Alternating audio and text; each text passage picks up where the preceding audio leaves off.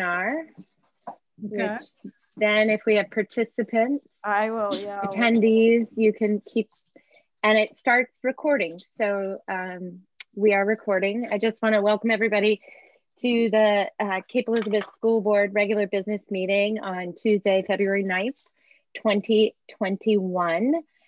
Um, just to remind everyone of the strategic plan goals that were developed a few years ago that sort of guide a lot of the decision making that we um, that we do. It's um, health and well-being, global competency, multiple pathways and definitions of success, safe, sustainable, and effective facilities, and environmental responsibility. So a roll call, Heather Altenberg is here, Kimberly Carr, Here. Uh, Phil Saucier, Here. Elizabeth Seyfried, Here. uh, Cindy Volz, Here. Jen McVeigh, Here. Laura Danino, Here. Joey Labry, Here.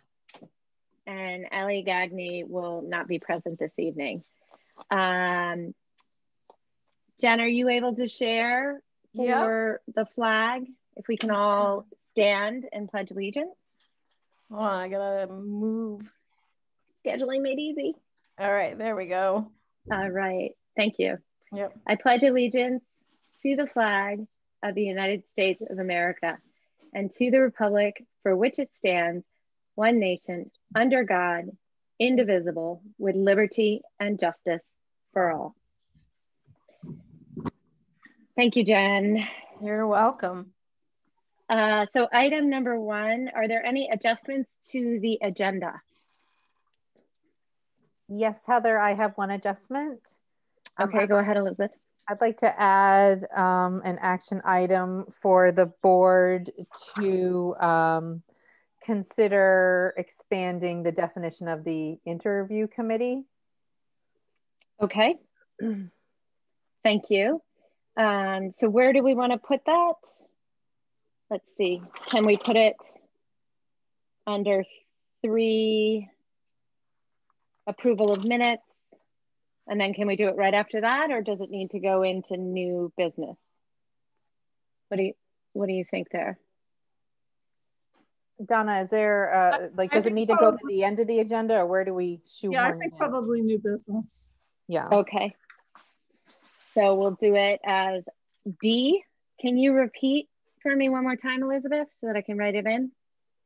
consideration to um, expand the definition, or I, pre- I think it should be the makeup of the interview committee for the superintendent search. definition of the interview committee for super search. Okay. Thanks. Are there any other adjustments to the agenda? All right, seeing none, moving on, can I have an, a, a motion for the approval of the minutes January 12th, 2021? Board members? I move we approve the minutes from January 12th, 2021. May I have a second? I second that. Thank you. Any uh, questions or comments? All right, all those in favor, Heather Altenberg is a yay. Kimberly Carr, Yay.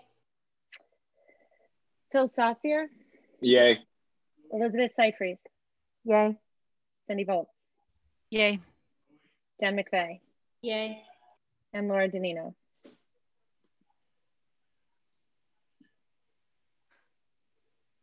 Laura Danino, did I miss you? My headphones hear- just went on mute. Yay. That's okay. Thanks. Um, your daughter's so cute there. in the lap. Okay, may I have the next motion, please?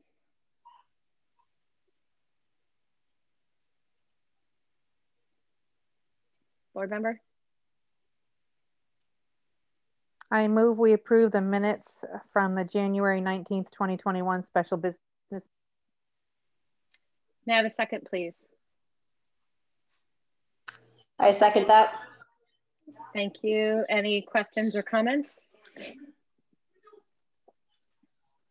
All right. Roll uh, vote is Heather Altenberg's yay. Kimberly Carr, Yay. Phil Saucier, Yay. Elizabeth Seyfried, Yay. Cindy Volz, Yay. uh, Jen McVeigh, Yay. and Laura Danino. Yay. Okay.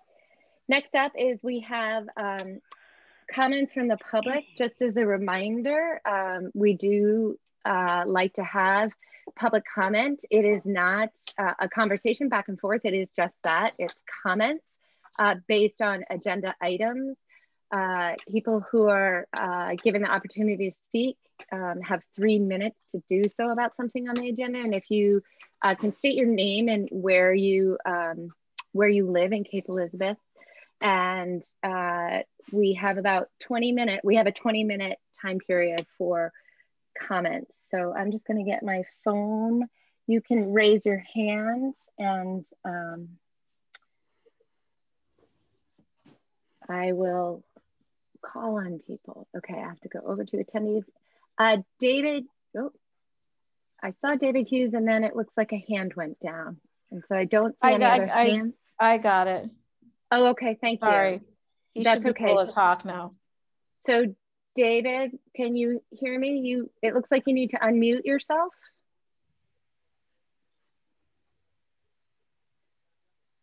Hi, Hi, how's that? That's great. Thank you for being here. If you can, um, again, state your name and where you live. All right, I'm David Hughes. I live at 8 Hannaford Cove Road with my wife and two boys. And you want me to continue? All right, Yes, specific, uh, specifically tonight, I'd like to address the, the agenda and how it could be improved. Similar to Ms. Wolfman, I, I, as a superintendent for the Scarborough Sanitary District, report directly to an oversight board. I also sit on the board of directors for the Kayla Vale Retirement Home for Women. Consequently, I direct I have direct experience on how these two boards conduct their meetings and request that the future school board meetings adopt the same approach. Both boards now have standing COVID agenda items. I would think the school board would consider a similar approach. That way we could convey critical information to the public. Under this agenda item, you could discuss, disclose statistical updates, student impacts, plans moving forward. Information provided should include number of positive cases in schools and direct contacts, any known transmissions as a result of schooling, impacts on schooling operation and why. Schools, schools will close this week. Consequently, the kids will only be in school four days this month.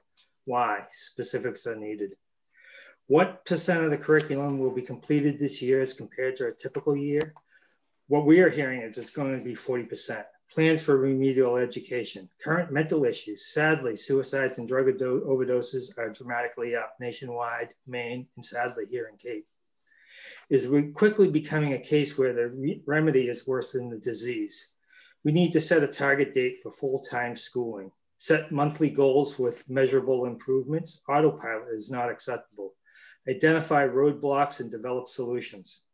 As superintendent, Hybrid was not an option at the sanitary district, nor could we work from home, nor could we meet all the CDC guidelines. I had to develop a plan that kept my staff safe from institutional dangers of our work and considering the CDC guidelines. We as leaders have to think outside the box to develop solutions. We need to present benchmarking results comparing Cape to other communities. Old Orchards, four days in-house schooling. Camden, Rockland, Rockport, Surry, full-time. Biddeford, using grant money to hire college kids. Parochial schools have been in school full-time since September. Uh, Brewers using a two, three-day school rotation. And in Vermont, K through four is full-time. This short list of examples bring up the question, why can others operating under the same guidelines do more? The short answer is they are thinking outside the box. We need to review current practices. Why is the high school getting out an hour early? Why can't Cape consider synchronous learning? Others are successful. You know, Wednesday's really a catch up day, really a smart idea. A review of my son's Snapchat account uh, shows that half his friends are up at Sugarloaf on Wednesdays. Another standing agenda item on both boards is correspondence. I know the school board and the superintendent get on a lot of it. A presentation of all correspondence received from parent, parent, parents should be considered. Is if it's too you many. could finish up, David, please. That's three minutes. Okay, I will very Thank you. quickly. A summary could be provided. And finally, a public comment period should be open to all items. Uh, agenda item comments would be more valuable given at those specific times. Answers need to be provided, not just acknowledgement and speakers' comments. Uh, we'd like to approach and uh, develop a plan and become the leader in education that Cape once was. Thank you. Thank you for those comments. Are there any other members of the public that would like to speak? Uh, okay. I see Tasha Novak. I think I gave you permission. You Yes, should be can you- able to. Can you hear me? I can. Thank you. If you could um, state your name and where you live. Um, yes, my name is Tasha Novak. I live at 8 Coalfield Road. Um, Okay. I live with my husband and my four children. I have a daughter at the middle school and a daughter at Pond Cove. Um, I'm a registered nurse and I've been a nurse for about 11 years. I also have a degree in public health nursing. Um, my husband's a physician. We both work at Maine Medical Center. Um, I have been working from day one of this pandemic. Um, I've been redeployed to COVID units and I've witnessed the real and most devastating effects that this virus can have. As adults, we must take this seriously, but COVID 19, for the most part, is a virus that causes adult disease, and it is largely transmitted among adults. Solid research has shown time and again that children are just not primary vectors of this virus. In fact, there is still not one reported case worldwide, documented case of child to adult transmission. So, with this current overwhelming evidence, why are schools the most restrictive institutions during this pandemic? The American Academy of Pediatrics has stated more than once that schools need to open fully and that it is urgent. The pediatric morbidity and mortality rates are drastically higher since schools began closing. Child obesity and depression, as well as suicide, is on the rise. Statistically delayed development in small elementary school children is actually on the rise as well. I trust my pediatric colleagues and I hope that the school board members and the superintendent will too. Children are not thriving right now. This is an emergency. The CDC has stated that schools do not have to wait for teachers to be vaccinated to fully open or reevaluate their restrictions. This is because the CDC hopes that school districts will allow children to return to school full time. We cannot wait for children to be vaccinated. We could be waiting for years. The FDA will not likely authorize emergency use of the vaccine in children as they have developing immune systems and they are not high risk or rapidly spreading this virus. We will likely wait for FDA approval. This may mean sacrificing a normal elementary school education for my first grader who has ordered half of her kindergarten year. She will never sit next to her teacher or read a book or work out a math problem. She will stare at an iPad screen for the remainder of her formative years. The consequences of this will be devastating. Some of these restrictions, as enforced by the CAPE schools, are not just nonsensical, they are harmful. I have personally spoken with representatives from the CDC and from the Department of Education who both assured me that many of these restrictions are not enforced by these institutions. For example, children at the middle school are not allowed to drink water during the school day because they cannot remove their masks. This is not only unnecessary, but cruel and abusive. Grocery store workers, hospital workers, and others are allowed to remove their masks to hydrate. Why can't children who actually dehydrate faster than adults, especially when they have to wear masks all day, which add to their dehydration? The middle school children are also not allowed gym and real physical exercise. When my daughter's pediatrician asked her if she was getting any exercise at school, she replied, no, because of the COVID rules, but we have Zoom PE. He asked her what Zoom, what is Zoom PE? She said, we mostly just watch videos. What are we doing to this generation?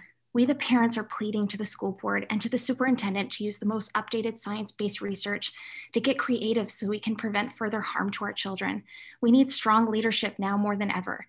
We need the school board members and the superintendent to start really advocating for our children. School is absolutely essential to their well being. The damage being done to our children. Do you mind, right now, um, Tasha, finishing up, please? yes. Sorry. The damage being done to our children right now far outweighs the damage, the risk of opening the schools and giving the children the wholesome and unimpaired childhood they deserve. Thank you. Uh, Stacy, I don't see last name. Stacy Hughes, you should be able to unmute yourself. You are next to speak. Thank you. Great, thank you.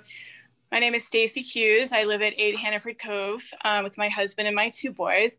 And I would like to speak to agenda items number five and number 11, um, looking at comments from your student representatives as well as from your um, committee reports. Um, again, looking at the listing of committees and the, the student reports and principal reports.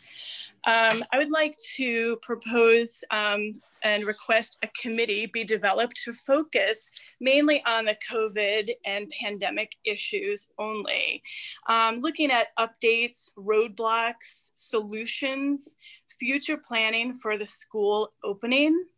Um, you know, suggesting that the school board have these monthly updates, just as other committees are able to update on a monthly basis. It's so critical that the public um, be informed as to what the school board is doing, as well as administration, to support our students and our teachers, to look at the latest data, to plan for the opening of our schools, and to respond to parents' concerns and questions. As it stands now, not being on the agenda as a set committee gives the public a statement, a statement that this is not being addressed at all. Going forward through the rest of this pandemic and beyond, I am hopeful that there be an ongoing parent or group of parents, perhaps a representative from each school, much like you have your student representation from the high school, you have your administrative representation. Each month, we get to listen to the principal's reports.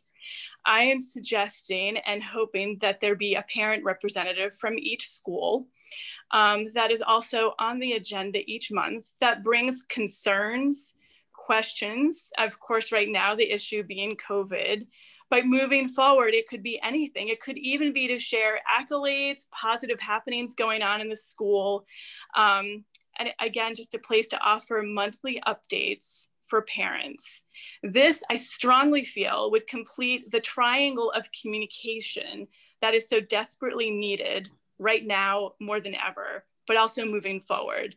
That triangle being communication between administration, students, and parents. That's the only way things are going to work moving forward. It is my hope that you would consider this, that parents need to be within that triangle to be represented and to be part of that communication. Thank you for your time. Thank you, Stacy.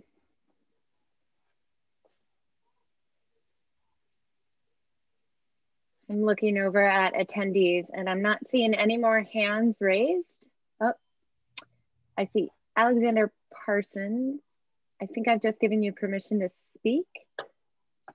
Hi, this is Amy Parsons, Alexander Parsons' wife. And spokesperson. uh, we live at 43 Stony Brook here in Cape. Um, Thank you. And I, I think to, to dovetail um, with what Stacy just said, communication is integral. Um, I'm tuned in now. I, um, for whatever reason, I was under the impression that COVID and the effects of the pandemic were being discussed routinely at the school board meeting because this is such a significant impact on our children. Um, and I was surprised to learn that um, there were not monthly or routine discussions about updated data updated science and discussions about when we're getting these kids back to school. Our daughters are in sixth grade and fourth grade, and we have a son who would be matriculating into kindergarten next year. We are now terrified about whether or not we need to make a decision to hold our son back when he is so ready, so ready to be in kindergarten. But under the current circumstances and with no communication about what the plan is moving forward or when the plan is to get these children back to school, we feel that we're caught caught between a rock and a hard place. Like so many parents, I am deeply, deeply concerned about the emotional and educational well being of my children. I am concerned about how little they are learning, the lack of social interaction, and the isolation they have endured for so long now, and what this means for their psychological, emotional, physical, and educational development.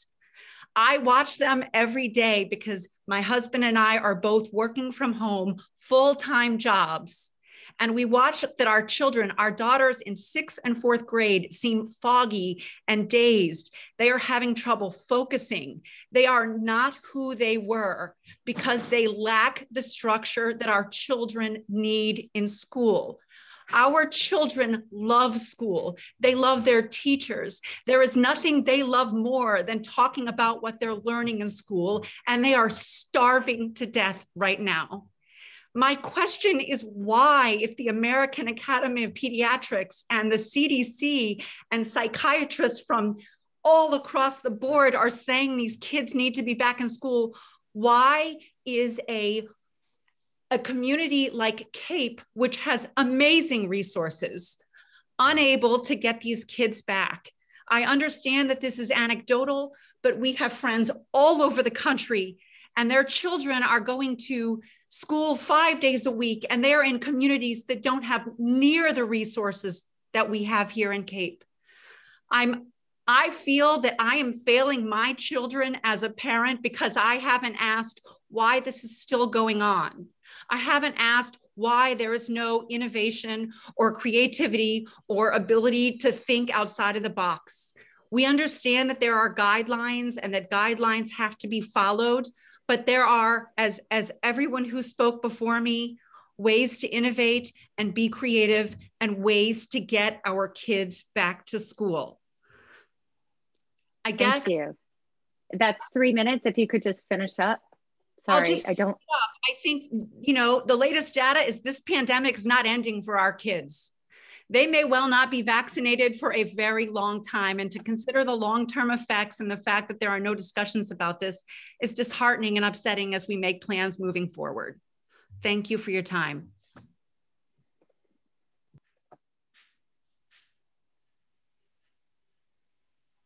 Are there any other comments? Um, okay, Kelly Fredericks, it looks like you have permission to speak. If you can just give your address. Can you hear me, Kelly? I can hear a little noise in the background. Can you hear me, Kelly? Can you hear me, Heather? I can now, Kelly. Okay, if you can just state your address. I can't see you. Okay. But that's um, okay, but I can hear you and my- you are coming a little bit in and out. Perfect. I know you don't Okay, have the let best me try to be clear. where you guys Um, hi, Mm, my name is Kelly Fredericks. I live at One Miss. Could you hear that? Okay. Not really. All right. Let me let me Um, try different. Let me just go. Okay. Now can you hear me? Much better. Yeah. Okay, go ahead, Kelly. Thank you. I and I just have a couple things. I probably won't even take three minutes. Um, a few of my concerns are um, I'm concerned at the high school about two things. One is I still don't understand why the high schoolers are getting out at 1.30. I know there is a time at 1.30 that they can meet with advisors and such, but we're not finding that time useful. Um, and most of the people we know are not as well. So I find that it's very, um, we're not using our time wisely. It's just another wasted hour. Um, and also with the Wednesdays, we're also finding at our home that Wednesdays are now sort of feeling like the weekend and it's kind of frustrating. Um, there's not enough work being um, offered for the kids, no structure. Um, I know this has been said before. My second item is in the middle school. Um, I'm concerned about the gaps, especially with math. So, for example, if a student is taking algebra, um, I'm just using this as an example, they're only getting at this point this year maybe 40%, 50 at best of the content in the class. So next year, in theory, if you're taking algebra this year, you would move to geometry the following year. And then as a freshman, so if you were in seventh grade, you would be taking algebra now. Eighth grade would be geometry. And then when you move to the high school, it would be algebra two. So my question is if they're only getting half of the contents, then in theory they would move to geometry, which doesn't use that much algebra from my understanding, but then they will start high school with not only a year gap, but with only half of a course. Um, I do understand that the school has purchased the Ascend program, which I think is lovely and a great um, tool to use to support the curriculum. But I'm just wondering if there are any plans in place to work on that gap, especially with math. And um, I imagine it's the same in the high school too. I mean, it's sort of like once these classes are done, it just kind of feels like a one and done. So that was my concern there. And that's it. I just wanted to bring that to everyone's attention that that is how I was feeling. Um, and that's it. Thank you. Thank you, Kelly.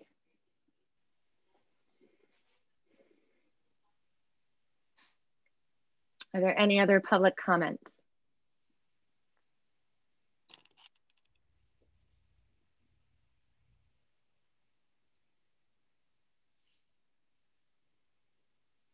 Okay, I'm not seeing any at the moment.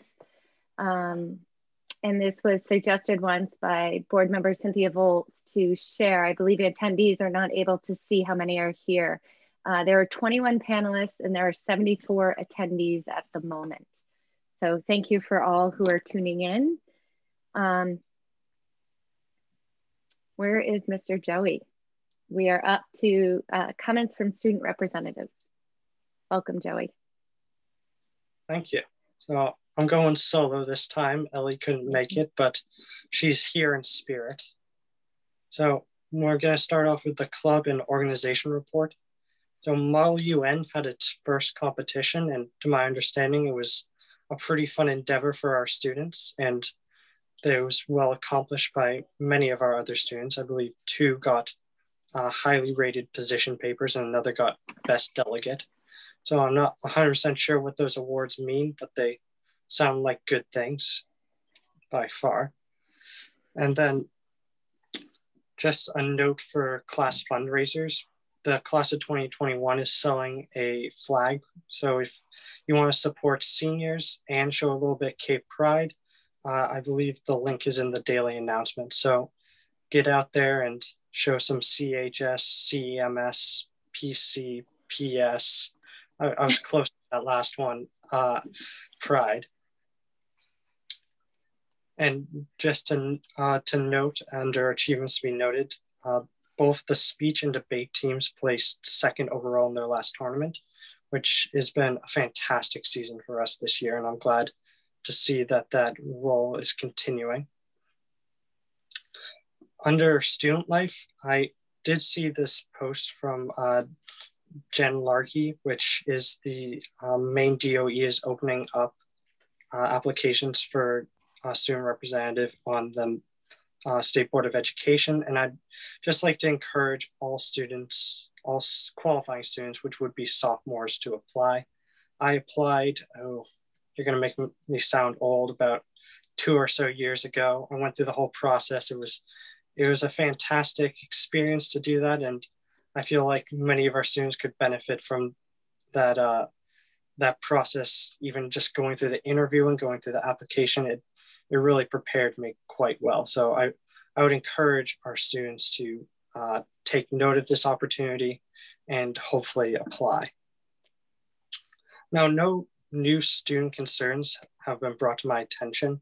I think we are we're pretty solid at this time, although I would like to warn the board that we are approaching senioritis season. So we gotta be careful of that, but uh, I encourage all Cape students to continue achieving at the high level that they always do and enjoy a little bit of senioritis because it's the one part of the year that is slightly normal. And I do just real quickly want to address some public comments that were made. Uh, I do think that the uh, getting out an hour early is very important for both students' mental health and our education to go over challenging topics. In a normal year, we would have that hour in the middle of the day. It was uh, it was achievement period. So we're it's simply just being moved to the end of the day. So that time period would have still been within our schedule, and it's it's still a very important part of the student's ability to understand a topic and reach out for help. And I think that concept can also go to the Wednesdays. I work quite diligently on Wednesdays, and I feel like it's necessary to understand all uh, the topics that I've been given in this abbreviated time period. So, do any board members have any questions about my presentation? Thank you. Thank you so much, Joey.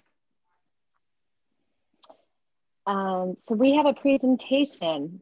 Uh, I think I'll pass it over to Joanne Lee and Rob Wheeler. Um, um, welcoming you, thank you. You, the 2021 All Eastern Honor Mixed Choir Recognition. So passing it over.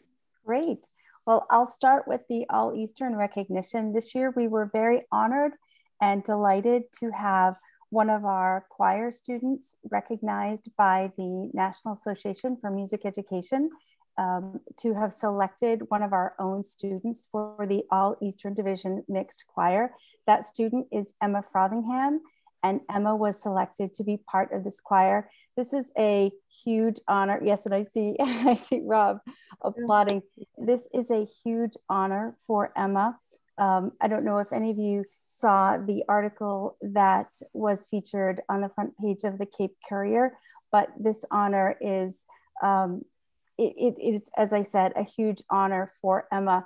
The the students that are selected for this have to have qualified at their state festival prior to being considered for all eastern and not every student that qualifies for their state music festival are selected for all eastern so there's a process that goes above and beyond being selected for all eastern the festival this year will be held on March 4th through the 6th. And there will be a series of master classes and a virtual festival that Emma will be taking part in.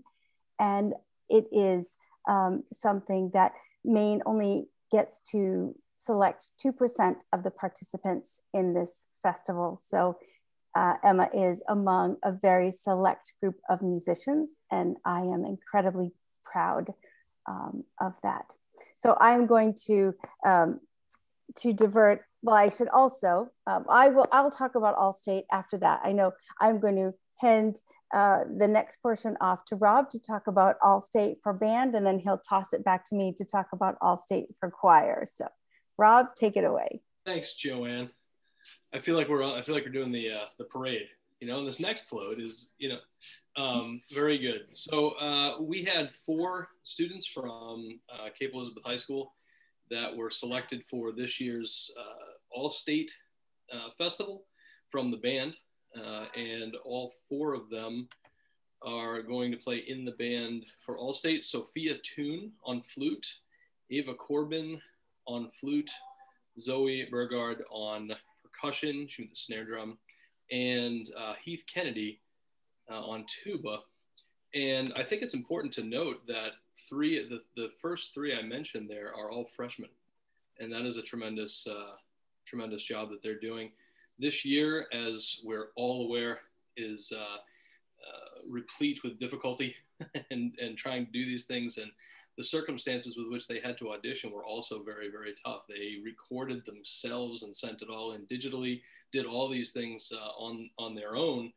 Um, and it's a tremendous effort on their part.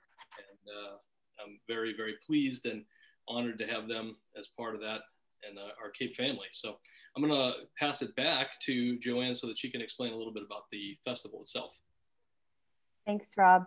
So in addition to our four instrumentalists, we have two vocalists who were also accept, accepted to the Maine All-State Festival. Those students this year were Emma Frothingham, who I will note this is her fourth year in a row being accepted to the Maine All State Festival.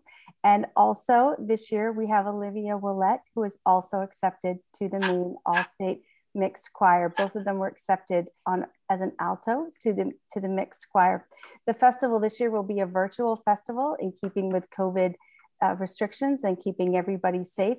So students will be recording parts and then submitting them and being able to work with conductors that were selected by concert managers and ensemble managers so that students will be having an, an experience that is above um, above something they could experience at the level they play in so that they will be exposed to other players um, at the level that they play uh, they play at currently so we're hoping that each one of these students will find this a fulfilling opportunity and they will be debuting each of these ensembles on YouTube. So we'll be sure to send this link out to everyone so that you can share in these student successes. So thank you so much for recognizing Sophia, Ava, Zoe, Heath, Emma, and Olivia this evening. Thank you to everybody. So congrat yeah, congratulations to Emma, Olivia, Heath, Sophia, Ava, and Zoe. Typically, if we were in town hall, we'd all be standing up, we'd all be applauding for you.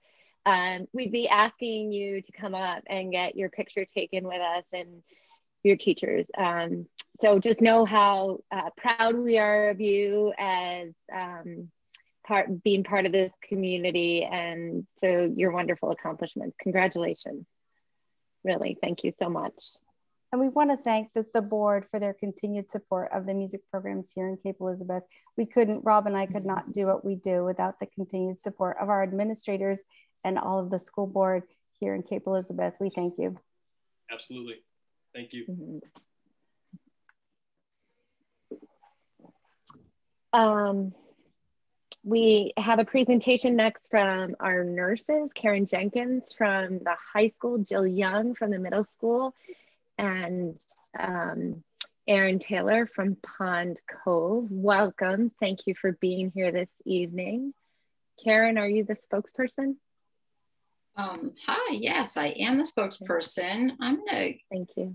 Um, go ahead and share my screen here. Um, I put together some slides really just to help keep myself organized, um, but I'm happy to um, you know, oops, didn't mean to do that. This is what I meant. Um, happy to share these slides as needed. Um, so uh, um, again, I'm Karen Jenkins, a school nurse at the high school. I'm joined by my school nurse colleagues, Erin Taylor from Pond Cove and Jill Young from the middle school. And we only have about 10 minutes, but gonna just talk about some highlights in terms of where we are in the district in terms of uh, COVID-19, school safety, a little bit about um, how contact tracing works and, and sort of touch upon some of the health and safety measures in our schools that have really contributed in keeping schools as safe as they have been. Um, so in a nutshell, uh, the schools are doing pretty well. Uh, and I would say compared to what we were all expecting when we were doing all the planning back last summer, um, way better than expected. And statewide, the studies would show that schools transmission is, is really quite low and it's especially low compared to community transmission. In fact, it's about a third of the rate of community transmission. And most of the cases that we are seeing that have been associated with a school um, are really the result of community transmission. So what that means is um, you know, what we're not seeing is people that are actually contracting COVID 19 through their school contacts. In other words, students and staff members aren't catching COVID from each other during the school day in the school setting.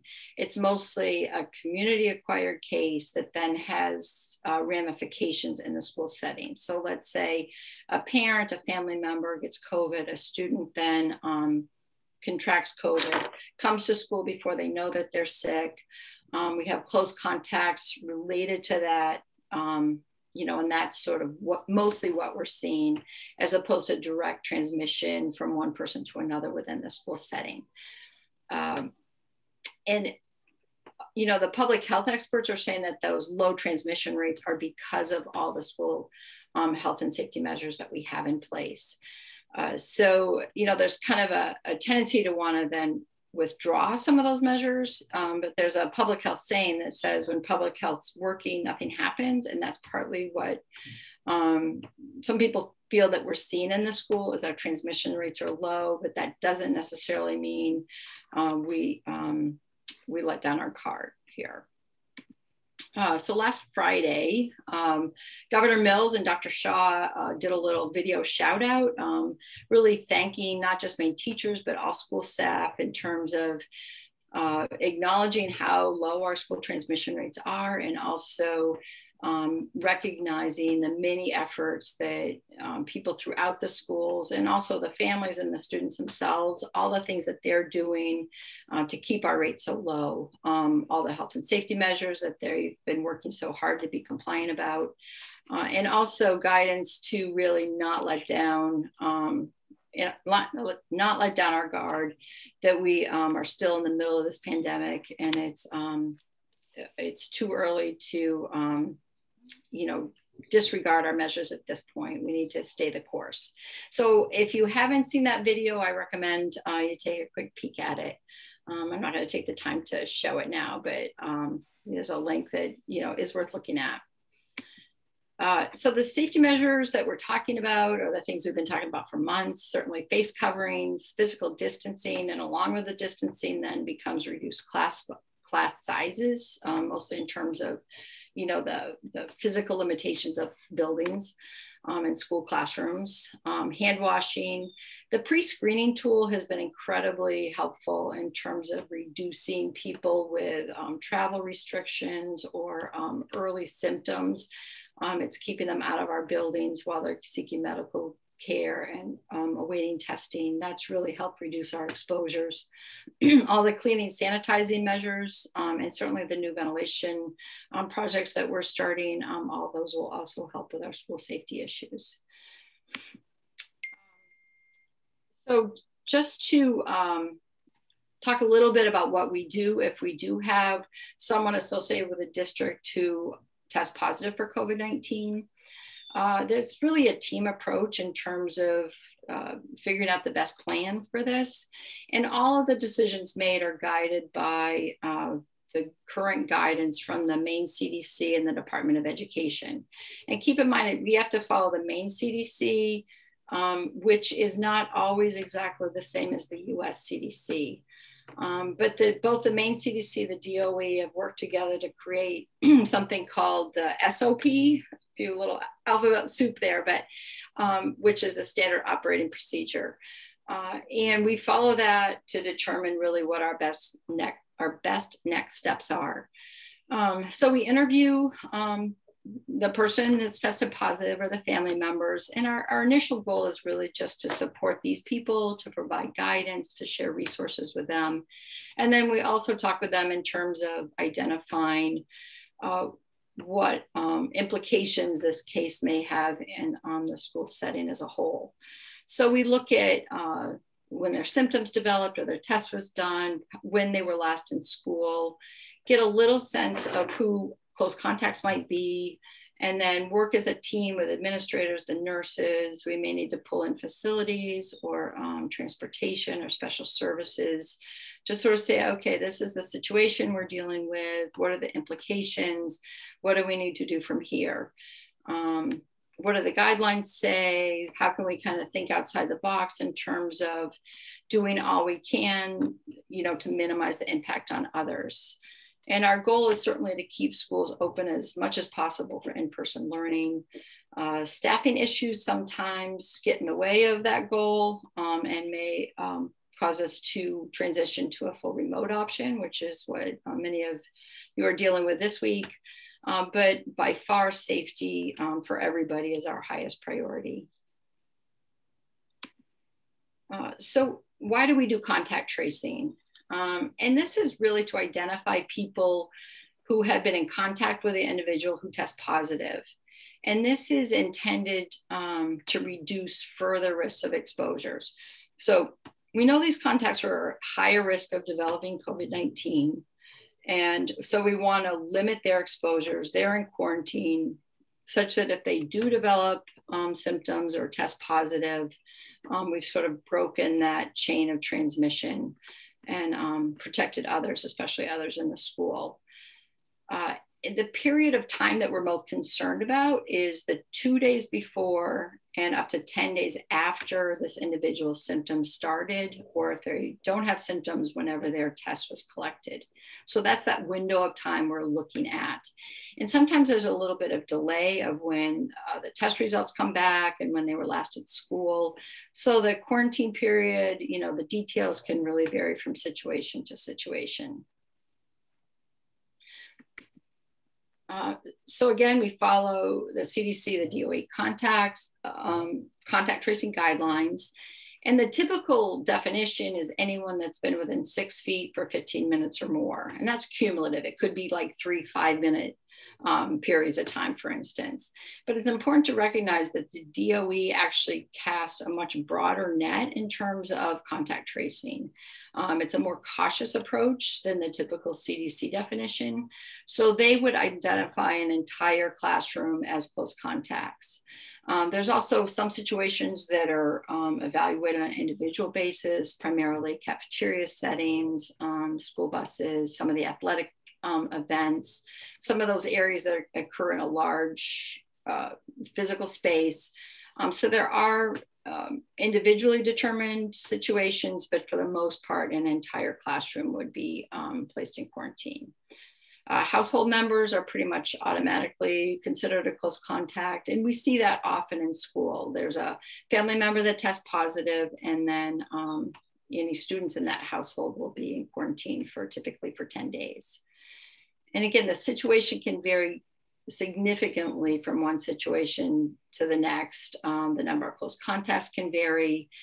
Uh, and, and the number of contacts identified doesn't necessarily indicate um, the level of risk to other people in the school. It may just be a reflection of whatever that individual schedule was, or if there were other support people involved, or if there was athletics involved. So it may be more people identified as close contacts, but it doesn't necessarily mean the school as a whole is at any um, higher danger than they had been. Um, contact tracing is a challenging process. Um, we try to find that balance between being um, cautious but not overly cautious. And um, we do all that under the guidance of the, um, the CDC and DOE. Uh, so once we've created this list of contacts, and again, this is kind of challenging, we have to do sort of a backwards approach, um, mostly because of all the privacy and confidentiality issues. Um, we can't just, you know, put out an all call to say, hey, Johnny Doe has COVID, who's been in touch with them. We have to sort of look at attendance records, PowerSchool reports, um, talk with special services. The high school has kind of a neat little QR code system. So um, we have some spaces that are sort of variable in terms of attendance um, and students can go in, uh, scan the QR code with their phone, do a quick little form. And then if we ever need to go back and say, okay, who else was in that room? Where were they sitting? We have a means to track that. Um, once we develop this list, the nurses make calls to um, all the families or the staff members. We feel that's important in terms of being able to answer their questions, address their concerns. And we send a follow up email with resources, sort of reiterating when they can come back to school, um, some links in terms of testing information when they should get tested and that sort of thing. Uh, and it's, it's just important to note, to recognize that this is a really stressful time. We recognize it's disruptive, it's stressful. Um, contact tracing is not easy. It's um, quarantine is not easy. Um, and we realize that this is a big ask of families. And um, I'm forever impressed by how gracious and patient um, families have been through this process. Uh, so just to sort of summarize the systems that we have in place that have been helpful in reducing um, the number of close contacts we have, and especially in reducing our disease transmission. Uh, so our small class sizes um, kind of by default reduce our contacts and also the additional space, um, physical space between people helps reduce our transmission risks. Um, the cohort system, um, because people are in those small groups that are with the same people consistently, reduce our contacts. Um, and by being in school fewer days, it does reduce the number of days that we need to contact trace, you know, when we're, um, when we're looking back at that, you know, time of exposure. Uh, the remote learning options that we have available really do support the process. So if we are asking um, students or staff members to be in quarantine, the remote learning options help them keep engaged as much as possible uh, and helps reduce that lost learning time as much as possible. Um, think of the, um, the options at the high school have been especially helpful in terms of um, also the teachers not having to spend as much time trying to catch them up if they've missed time, um, catch the students up. Uh, and the, the, remote options have also um, supported people who um, have had to miss school either due to mild symptoms or they're waiting on a COVID test or they've had travel issues. Uh, and even if they don't test positive, they're not officially in quarantine. Um, they've been able to promote school safety by utilizing um, remote learning opportunities. Uh, and the high school's mini terms have also reduced our contact tracing, our exposures, you know, because we're really looking at just four classes a day instead of up to seven or not even a day, even over the course of a week. So that's really been helpful in terms of our um, needing to um, put as many teachers or um, students in quarantine.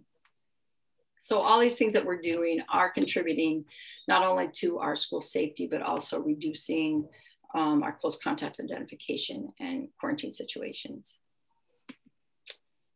Uh, so the guidance that we've been hearing from the Maine CDC is to just stay patient. We know this is a tough time. People are tired of it. We get it. This is this has not been easy. Um, and they're stressing that school transmission is low, but it's been low because of all our current measures. Uh, we're all hopeful about vaccine um, that will certainly reduce the staff members need for quarantine which is going to be helpful. Um, but unfortunately that rollout's been slower than we'd all like. Uh, there is concern about these new strains of covid-19 um, the school nurses we're uh, we're in close contact with um, other school nurses. We attend weekly meetings uh, with school nurses throughout the state and the CDC school nurse liaison, and also keep abreast of the um, latest CDC updates through their meetings and um, uh, weekly updates. So, you know, from the comments earlier, I realize that many people um, are anxious for our protocols to ease up, for creative thinking. I'm all on board with that as well. But there's also others that um, want our our um, our guidance to be even stricter. And and we need to consider those cases. So i feel like we need to be very strict with our guidelines. We do need creative approaches but we need to err on the side of caution um, and we need to make decisions that are um, made for the well-being of our entire community. Uh, recognize that we're all tired um, but at this point we've come too far to ease up too much or too soon. Um, uh, so that was a lot. Um, I'm going to stop sharing, but um, certainly happy to answer any questions, um, either Erin or Jill or I, and always welcome to um, answer any questions if anyone wants to reach out to any of us later. Yeah, so um, Karen, I'd like to first of all say thank you um, and thank you to the three nurses for all you have done. And just to clarify, uh, the way our the structure of our board meetings is, is that these questions currently right now are for board members. Um, Karen did share emails up there and phone numbers. So if you are in the public and you have some questions, um, I'm sure that the nurses would be happy to respond as best they can. So that would be the avenue to reach out. Are there any board members that have a question or comment for uh, Karen or Jill or Erin?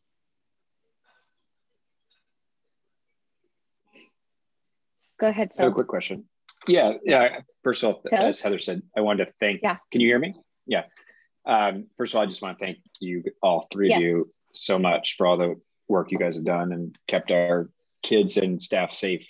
Um, just a quick question on the spread issue. It sounds like, uh, as you were saying, that it's we've had mostly community spread and not school spread. Have we had any cases where we've had positive cases that have spread within the school from someone who tested positive, or have you been able to uh, contract trace and you know quarantine before that happened? Um, it's always a little bit. Thank you for that question. So it's always a little bit too difficult to fully know how the whole thing plays out because um, we also have asymptomatic transmission. Um, we have had um,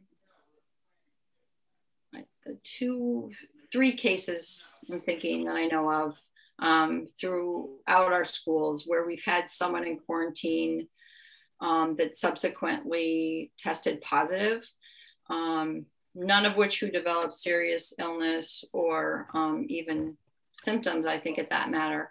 They um, just had had a follow up test that was positive. Um, we have had many other people in quarantine that either from community transmission, community situations, um, but I, I'm counting three in my head. Um, again, we don't know 100% that that's how it all transpired, but they were in quarantine and, and did end up being positive. Thank you. Thank you very much.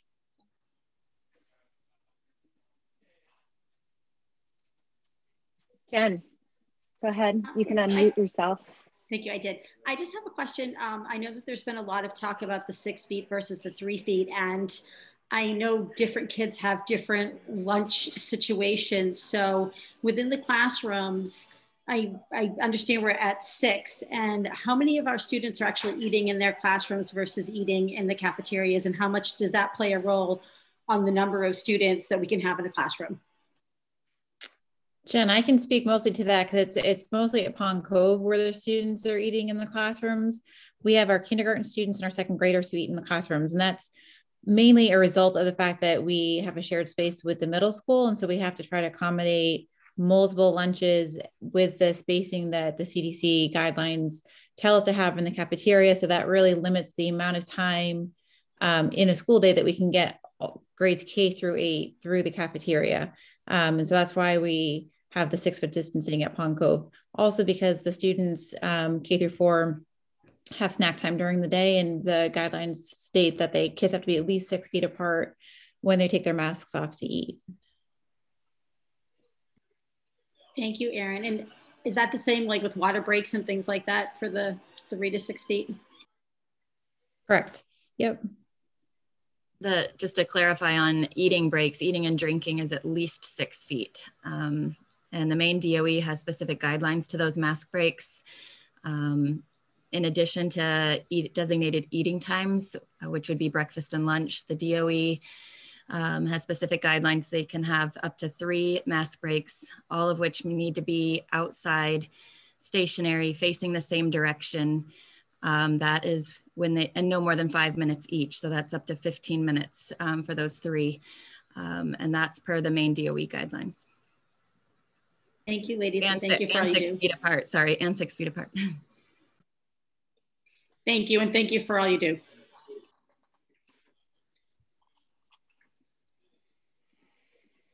Uh, I saw Kimberly and then Cynthia. So go ahead, Kimberly. Kimberly, are you? I'm freezing in and out. Yeah, sorry, I was muted. Um, yeah, I just want to um, really just thank the three of you for all the work that you have put in. I know um, this summer was long, a lot of hours, and um, the school year hasn't changed that very much. So um, I appreciate that. I appreciate the um, care with which uh, you consider the needs of all the community members. Um, and I, I have um, kids in all three schools. Um, and yeah, I just, I, I guess I appreciate, it's unfortunate that we're closed this week for sure, but I appreciate um, so much the amount of in-person schooling that we've been able to offer consistently to our students and our families this year. So I, I attribute a lot of our success um, to all that you guys have done and all the planning that went into this. So thank you. Thank you. Cindy, go ahead.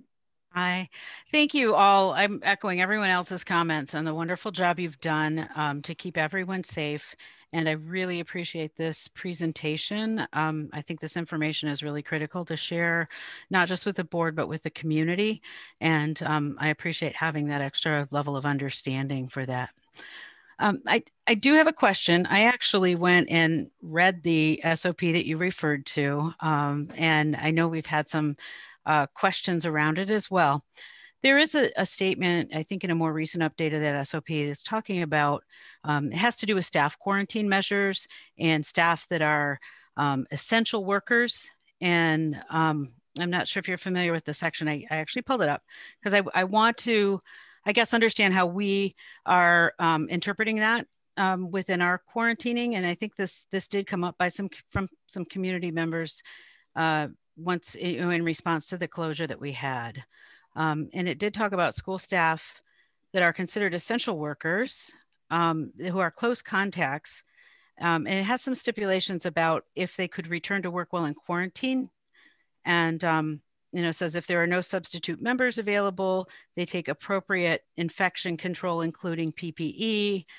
Um, and the staff remains in quarantine outside of work. And of course, it says no under no circumstances a positive COVID-19 case should be in school in the school setting at all. But I just wondered if you have, um, I guess, how would that apply or not apply in our school situation? And, and do we have a direction that we follow on that piece of it? Yeah, good question. First of all, thank you. Um, that we are very familiar with that document. Um, I think we practically know that one by heart. Um, that's how we operate. So um, these decisions are not made lightly. Um, I have kids in the school system. That's my job is to care for the kids there, their well-being, our staff's well-being, our community's well-being. So we don't make these decisions lightly. We as nurses attend these meetings with administration as the decisions are being made to provide the guidance as a nurse, and then the decision is made ultimately by administration. But we do refer to the SOP in our guidance to administration. Um, as Karen mentioned, we also err on the side of caution um, as we do have a large community to protect. Um, I just want to speak a little bit too to this, we'll get back to the question, but transparency. There's been a lot of questions about transparency we do have confidentiality obligations, professional obligations to protect confidentiality. Sometimes when we're dealing with groups of people, that would be identifying um, and not protecting their confidentiality. But what I can tell you is that we've worked really hard to be transparent as far as numbers go.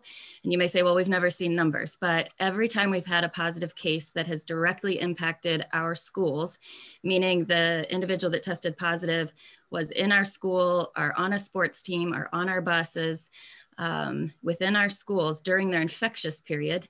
So infectious period is you backtrack 48 hours prior to the swab date if asymptomatic or 48 hours prior from symptom onset. So um, every single time we've had a positive case that has in, directly impacted our school, meaning that that individual was infectious in our schools, uh, we've sent out a letter. So you can go back and count that way. Um, but we don't share close contacts. I don't think that that's relevant in making a decision. Um, you could have a lot of close contacts or very few close contacts, and the measures would be the same. What that does tell us, though, is that things are working. I said I have kids in the school and I have a husband that's an educator at the high school. We were not fans of the mini term, let me tell you that, as an educator or as parents. But the first time that we contact traced in the high school was eye opening. The mini, mini term works. We quarantined very few. I think I could count on both hands how many were in quarantine from that case, which is remarkable.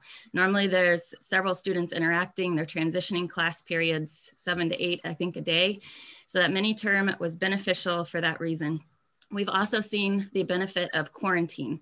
So as Karen mentioned, we quarantine those individuals that are identified as close contacts based on the CDC guidelines that we follow for that. And we have had individuals test positive that were in quarantine. Um, so and we've had them test positive sometimes after they've been out and their infectious period did not have an impact on our schools. We also have parents that have tested positive, family members that have tested positive, students that are out in quarantine because their family members have tested positive who have later tested positive. So these measures work. Um, so to get back to the SOP, when we're making a decision um, for staff, yes, staff are considered essential workers, teachers, bus drivers, cafeteria workers, custodians, they are considered essential, nurses considered essential workers, but it is an option. And when making that decision, um, knowing that we've had people in quarantine who have later tested positive and that these measures work and they're in place for a reason, and we've seen the benefits of that, to then bring these folks in and potentially cause more harm than good and potentially spread the virus. Um, that's a hard one to swallow as administrators and nurses um, to know that we are potentially exposing more. And while kids may not, um, you know, the research is out there that shows kids may not be as susceptible and they may not transmit. We still have adults and our building and um, they go home to others. And we just want to make sure we're making the best decision for our entire community. We do weigh that option. We are aware of that option, but it is an option when there are no others. And we felt um, that ultimately is an administration administrator option or decision, but um, we felt that uh, with remote learning, I believe that that shows it's not ideal. I, again, I have kids, I have an educator as a husband. It is far from ideal, but it's another option. It's not um, a snow day or a power outage where we're out for the full week. We do have other educational opportunities available. Thank you. I appreciate the explanation.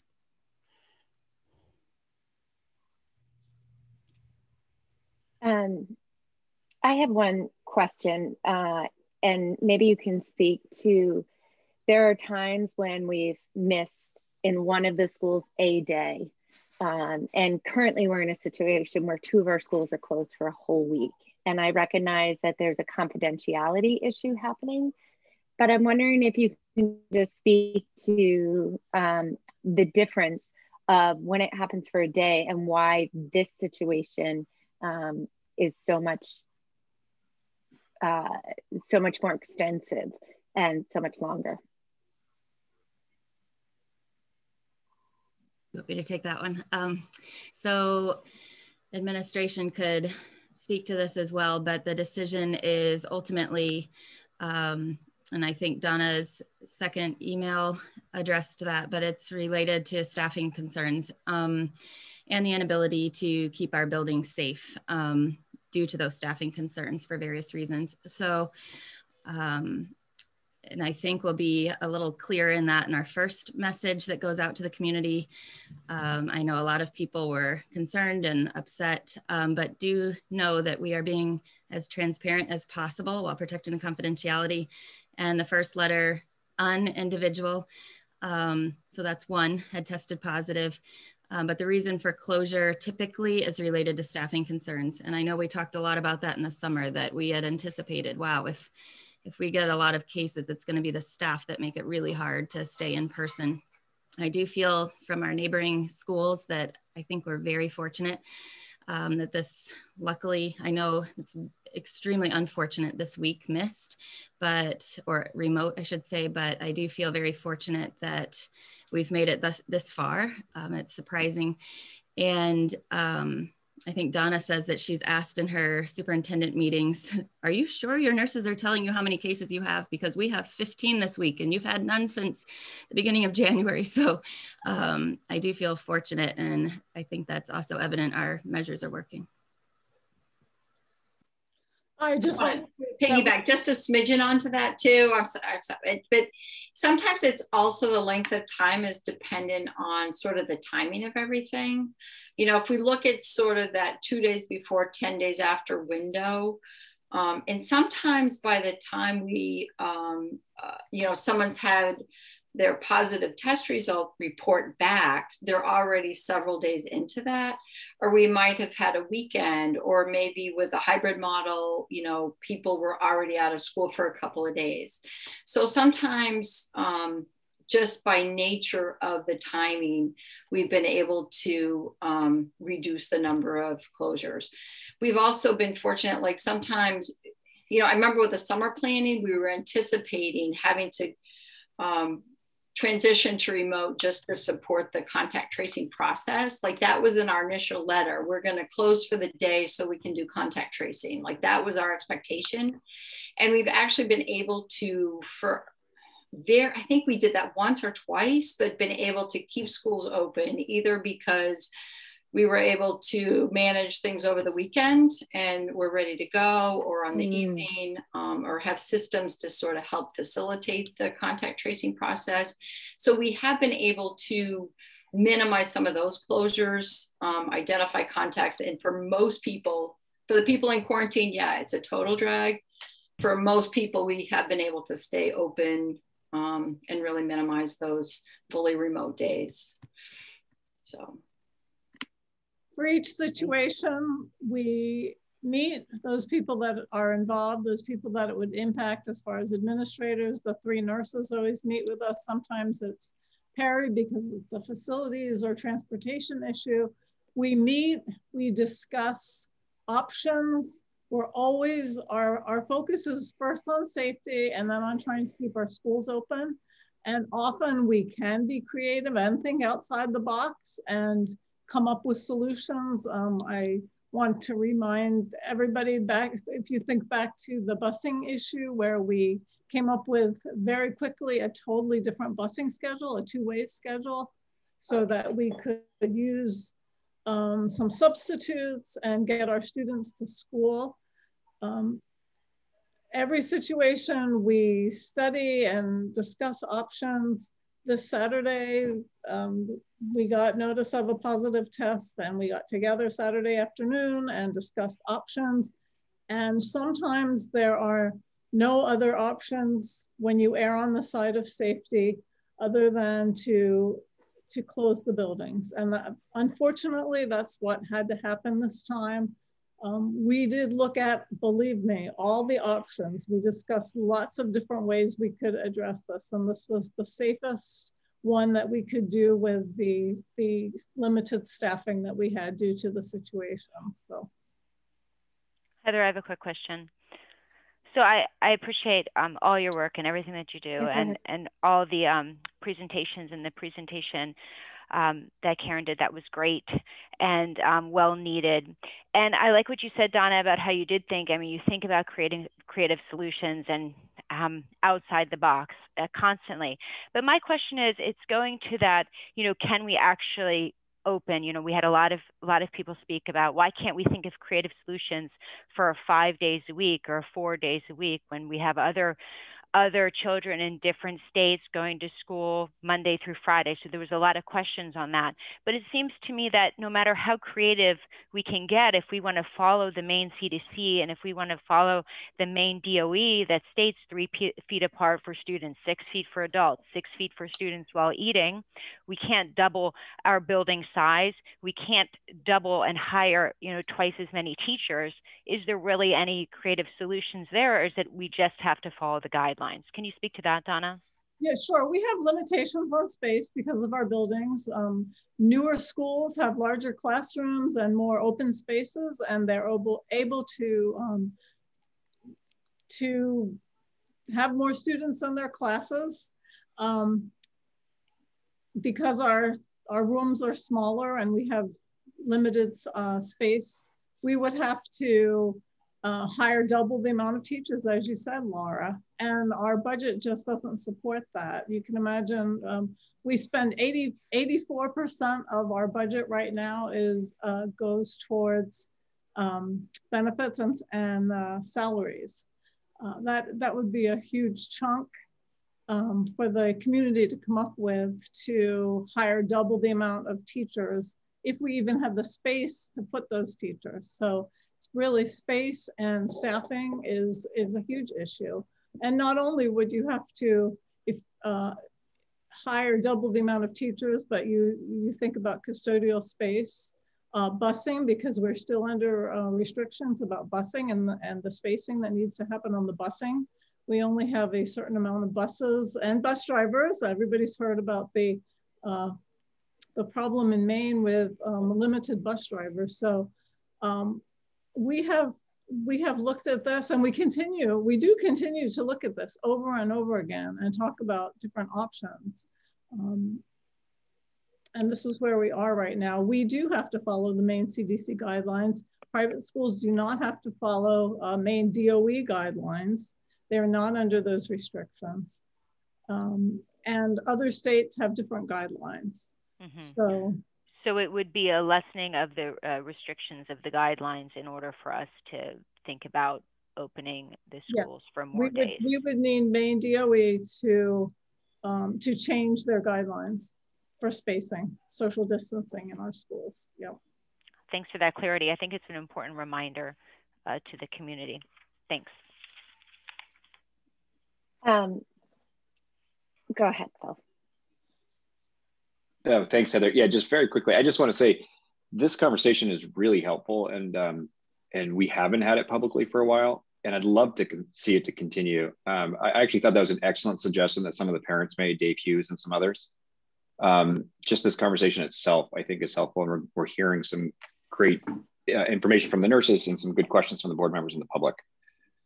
Um, so I just I would like to see this kind of update, and maybe it's we we tackle different types of the of the issue and the problem each month, but to but to but to put this on again and um, and to continue to hear about this, I think uh, just more information is always going to be better. Thank you for that, Phil. And I I um I wasn't going to bring this up right now, but um, one of the things we're also trying to do in the spirit of uh, improving uh, communication is to perhaps um, create some documents that can be referred to on the website, like frequently FAQs or bullet points. Um, so um, people are, are sending in questions, they're asking questions, they're good questions. We appreciate them. Um, it's all confusing, um, it's all frustrating. And so um, just to know that that is something that's happening in the background, though you're not seeing it right now, it is happening in the background. I also see that there are some people writing um, questions in the Q&A and hands raised. And our policy right now, I know it might be frustrating, is that this is time for the board because we do have a full agenda ahead of us. Um, but the nurses have said they're happy to answer questions. So if you do have a question, um, send it to the nurses, send it to the board. We'll do our best to, to get your answers. But um, we are gonna move on with the agenda at this point. Um, and I would just like to thank the nurses one more time for um, not just tonight and your amazing presentation that was full of information, but for all that you've been doing. Um, you've just been hitting it out of the park. You're amazing. So thank you for keeping us all safe super appreciated. Moving on to principal reports, we will start with uh, Jason Manjourides, our Pond Cove principal. Sure. Thank you, Heather, and good evening, everyone. Yeah. Um, I'm not sure. So actually, Kathy and and Troy and myself um, kind of have worked together on a presentation, uh, and I'm thinking, Kathy, that this is the appropriate time um, so Heather, if I if we could, um, Troy and I both both plan to speak about our schools, but as part of a, a data presentation with Kathy. Is that okay? That's fine. Okay. So I'm so I'm going to go ahead and go first. Are you all I'll share my screen. Thank you. Okay, so you came in and out for a minute there, Jason. Is it you, Troy, and Kathy speaking? Yes, I'm sorry. Can you hear me now? Okay. Okay, so can everybody see my screen because I'm okay. not able to see anybody anymore? Yes. Yes. Okay. Yes. All right. Good. Okay. So um, it has been, as we are all painfully aware, uh, almost a year since instruction shifted as a result of the pandemic, and we are halfway through the current school year. So, the two questions that we um, want to answer tonight, well, that we want to address tonight um, how has the pandemic affected the learning of our students, and how can we optimize the learning for our students? so I want to start with the question, what does the NWEA data say? So as I think you're all aware, um, all of our students in grades one through eight take the NWEA in the fall and the spring. And what this graph is showing, these two graphs are showing, is observed growth from the fall of 2019 uh, to the fall of 2020 administrations, NWEA administrations, and the growth that was projected. Uh, projected growth is based um, on by looking at um, all of the students in a particular grade at who had the, the same RIT score, and that's what you see depicted on the y-axis, and who have had the same um, the same amount of instructional time. And notably, the amount of instructional time was not adjusted for the pandemic. So this is the projected growth for students who took the NWEA in the fall of 2019. So looking at what we see here then, we have math and we have reading at Pond Cove, grades uh, two, three, and four.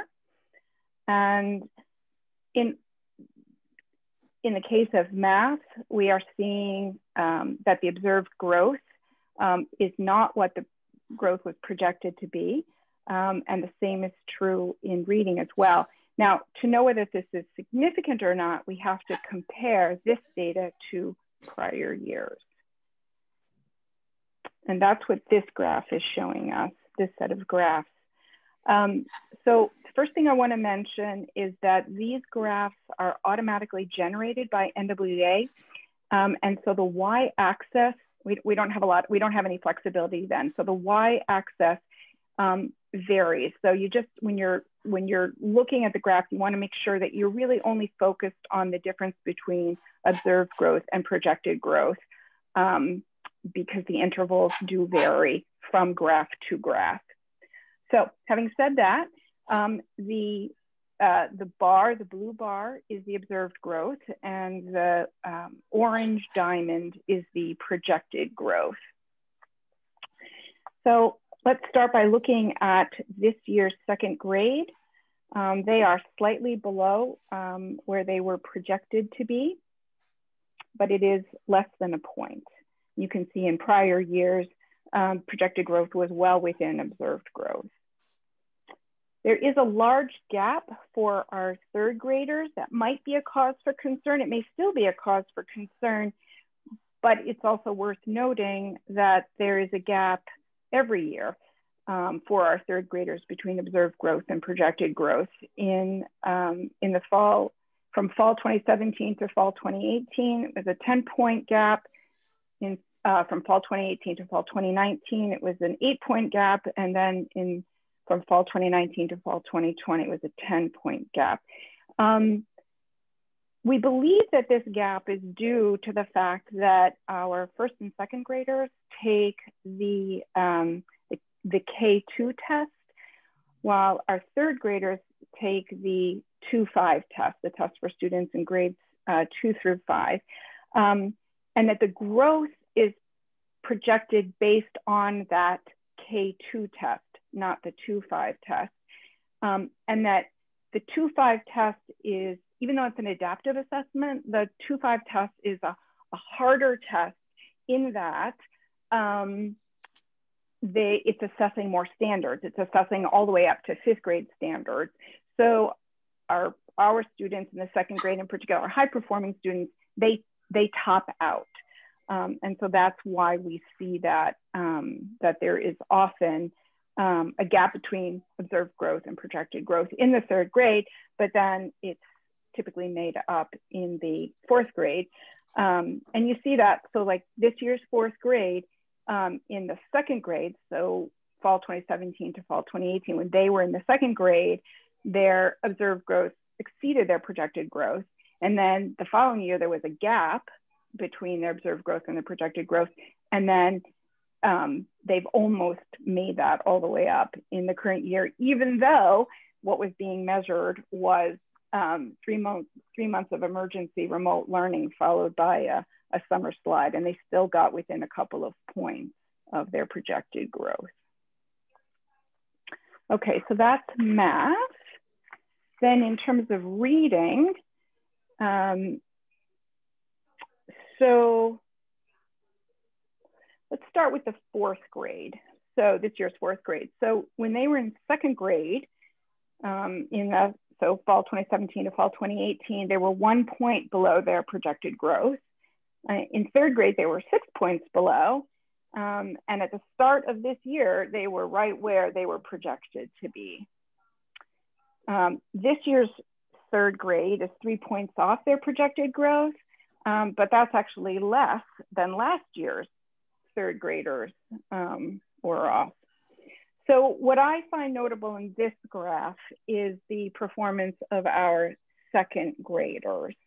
Um, because in prior years, you can see that the gap, there's no gap last year, and then the year before, it's a, it's a very small gap. Um, and we think that may reflect the fact that in kindergarten, first grade, and second grade, the students are still learning to read rather than reading to learn, as we say of students in grades three, three and above. Um, it's a skill reading that has to be explicitly taught for most students. Um, and the students who are currently in the second grade entered the period of emergency remote learning two thirds of the way through um, first grade. And so what we want to see when the second graders take the NWEA in the spring is some of that gap um, made up. That's what we are, that unfinished learning finish, that is what we are working toward. Okay, so now let's look at the middle school. Again, um, blue is our observed growth and orange is our projected growth. Um, think the first thing that jumps out at me when I look at this is that observed growth is below projected growth in math at every grade level. Um, while the while in reading, the observed growth is higher than projected growth, um, except in the seventh grade where the difference is, is arguably negligible. So about a quarter to a half a half a RIT point. So again, we want to see whether this pattern is evident in, um, in prior years. So I'm going to start with reading. So again, notice that the intervals um, on the y-axis differ from year to year. So we want to focus on observed growth versus projected growth. Um, the current fifth, sixth, and eighth graders, as you can see, have exceeded their projected growth. Um, and the sixth and eighth graders have actually improved their performance from the prior year. Um, so this year's eighth graders, when they took when they were in seventh grade, um, their projected growth was higher than their observed growth. Now, um, now they're even, um, and uh, and the same thing is true for the um, the sixth graders. They were slightly below projected growth when they were in the fifth grade, and now they're they're the, again, the, those are even. Um, the seventh graders are slightly below projected growth, but that's true in prior years as well, um, and it gets made up um, uh, in the eighth grade. Or okay, so yeah, that was true from last year to this year. Okay, then in terms of math, so in math, the story that the data appears to be, the NWEA data appears to be telling us is, appears very different. Um, as mentioned, observed growth is below projected growth in all four grades. Um, the drop in the sixth grade year is normal uh, based on, on prior years. Um, and as with that switch in tests from the second to the third grade, this also reflects the fact that in the sixth grade, students are taking the six plus test for the first time. And again, that gap is um, generally um, made up. Um, the, the, drop in the fifth and the seventh grade um, is, is not normal. Um, and then when we look at this year's um, sixth, sixth to seventh, and seventh to eighth compared to prior years, um, it's hard not to see the effect of the pandemic. For example, if you look at the sixth grade in the fall of 2017 to fall of 2018, they were below projected growth, but then when they were in the seventh grade, observed growth shot up. Um, and um, the same thing was true moving from seventh to eighth, but not this year. So the question is, why might this be the case in math and not reading? Um, an article I read recently that I linked at the end of this presentation um, speculates that there are a couple of reasons because this phenomenon is not just true of Cape Elizabeth, it's being observed throughout the nation. Um, so one thing, as with learning to read, um, math is almost always formally learned in school. Um, people don't wake up and all of a sudden one day know how to multiply fractions. That's something that has to be taught explicitly to them. Um, often students experience math anxiety and the broader stress and trauma that we're all experiencing as a result of the pandemic might be exacerbating that. Um, and then finally, it may be harder for teachers to challenge students, um, well, to, to engage them in effective um, instructional practices via remote, via remote platforms in math. So reflecting on this data, we can go in one of two directions or in both directions at once. Um, what are the reasons for us to be concerned um, about this data? Um, and, and what are some reasons why we feel like we've got this? So in terms of reasons for concern, um, instruction is different. There's no question about that. We know we have less instructional time. Um, and both principals will be speaking to that um, in a few minutes. In kindergarten two, uh, kindergarten, first grade and second grade, as has already been mentioned, students are still learning to read. Um, that's a skill that like math has to be, has to be taught. And it's why our teachers in, at those grade levels are, are focusing on, on reading and writing and math. Um, we anticipate unfinished learning in the content areas. We have been focusing on skills, and so there may be some content um, in science and social studies particularly that goes untaught this year, or at least not taught to mastery. Um, and then, um, and then we know that at this time when students are either learning 100% at home or um, partially at home that this situation can be exacerbating inequities and that everybody's home environment is different and um, we're not able to equalize those environments in the way that we can when everyone is coming to school all of the time. So reasons why we maybe can take a deep breath um, and not freak out. Um, so one thing is that NWEA data that I showed measured unfinished learning. It was fall to fall. So it measured the unfinished learning from that emergency remote learning period, which is three months, and then the summer slide, and not current instruction. So we have been in a hybrid model, although we, some of our students are, are doing that 100% remote, but most of our students are in the hybrid situation. Um, and so the spring data is going to be really telling. We'll be able to see, um, it'll give us a very good picture, I think, for next year um, for where uh, where they stand. And again, our teachers have been focusing on, on skills. Um, another thing I wanted to mention is that our middle school students took the NWEA remotely. That was new for them. Um, with a different environment could have impacted testing. Um, and um, and I had a, a teacher say to me, and the students, when they took it in the fall, they were, they were out of practice. They had less stamina. And again, that might have impacted the results. Another reason why we got this, teachers, our teachers, they're highly skilled. They know how to differentiate. And as I mentioned, they're, they're emphasizing skills, especially writing. Um, there are teachers who've said that they're actually um, assigning more writing and getting better project, that the technology lends itself to that. Um, our curriculum is spiraled. Again, I think we have some um, teacher feedback that's going to address this, but um, students learn something in the sixth grade in science, they learn it again in the seventh grade and again in the eighth grade at a, at a higher and deeper level, but it's an opportunity for teachers to address some of that unfinished learning. Um, and then another comment that's been made is that um, the in-person classes are smaller and there are fewer classroom management issues and with a smaller group of students um, can often move more quickly, more deeply um, through, through the curriculum. There's a reason why as a district we prioritize small class sizes and, and so we're, we're seeing the impact of that um, in this COVID environment in which we are instructing. Okay, I'm now going to defer to Principal Manjourides and Principal Eastman. Sure, thank you, Kathy. Uh, I'm hoping everyone can hear me clearly now. Okay, so again, thanks again, Kathy, for that, um, for providing that overview of the data.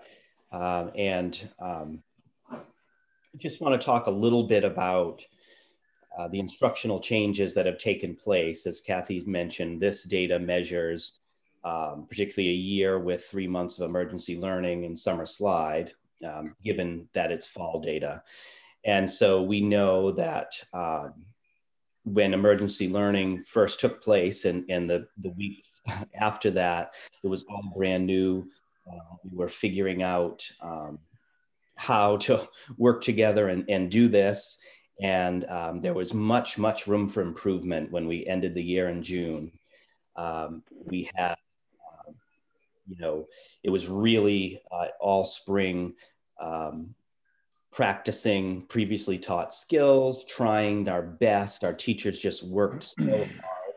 Um, and by June, they were getting pretty good, but it was it was a steep, steep learning curve. And so um, fewer school skills, much fewer skills were introduced in the spring of 2020 than, than we would have, have liked.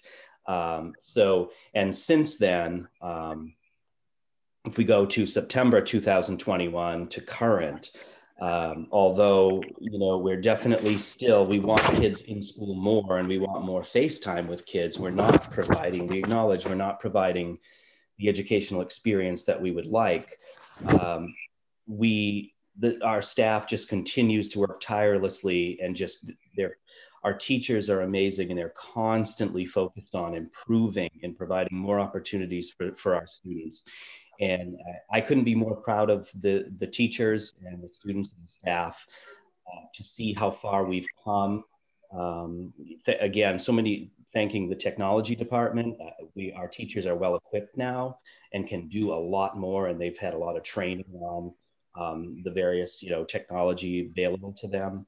And we're we now have FaceTime, right, with the hybrid model, and students who are in fully remote have you know, four days of direct contact um, via Zoom.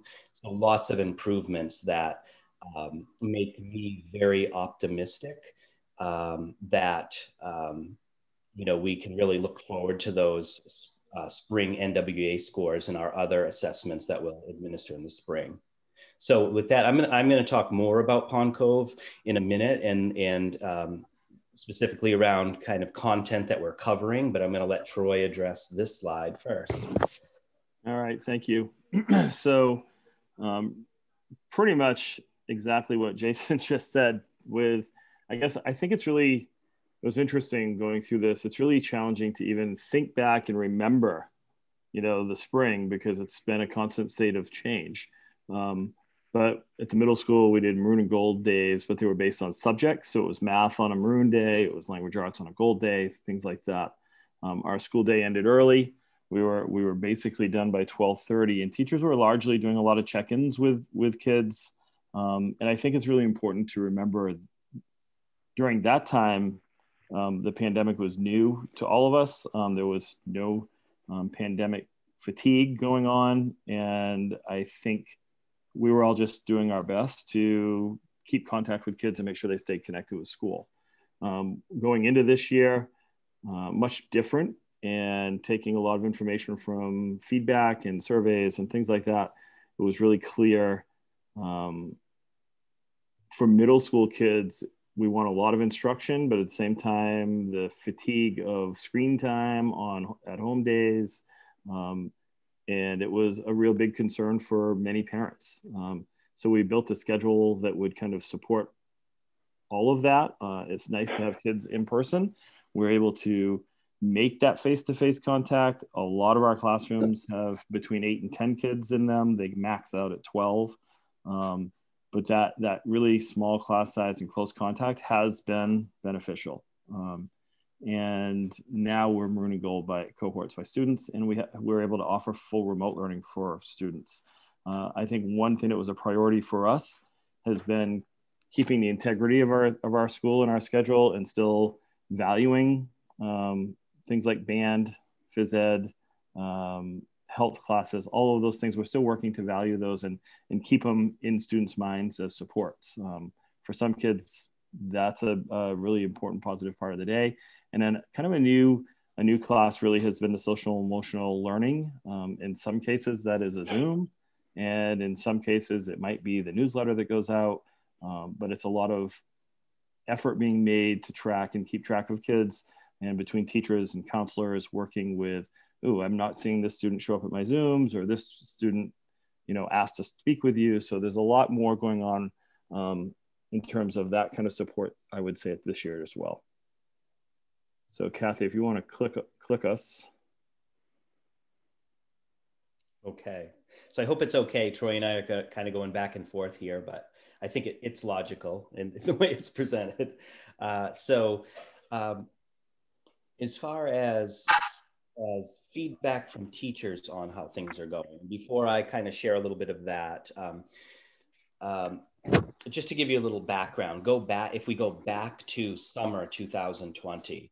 So in preparing for this school year, the 2020-21 school year, over the summer, all grade level teams, K through four, worked on a revised curriculum scope and sequence. And so what I mean by that is uh, for every content area, reading, writing, science, social studies.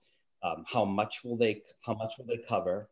In what order will they cover it? And so, and also a timeline um, for um, when they will cover that material. That's what I mean when I say scope and sequence and timeline.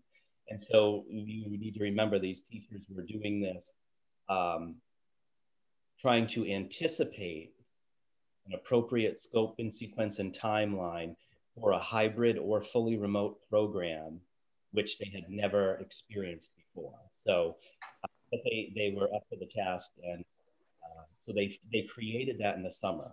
And throughout the first, they've been monitoring that and they discuss it at their team meetings and find out, you know, have we covered what we thought we would? Um, are we behind? Are we, are we doing well? Are we ahead?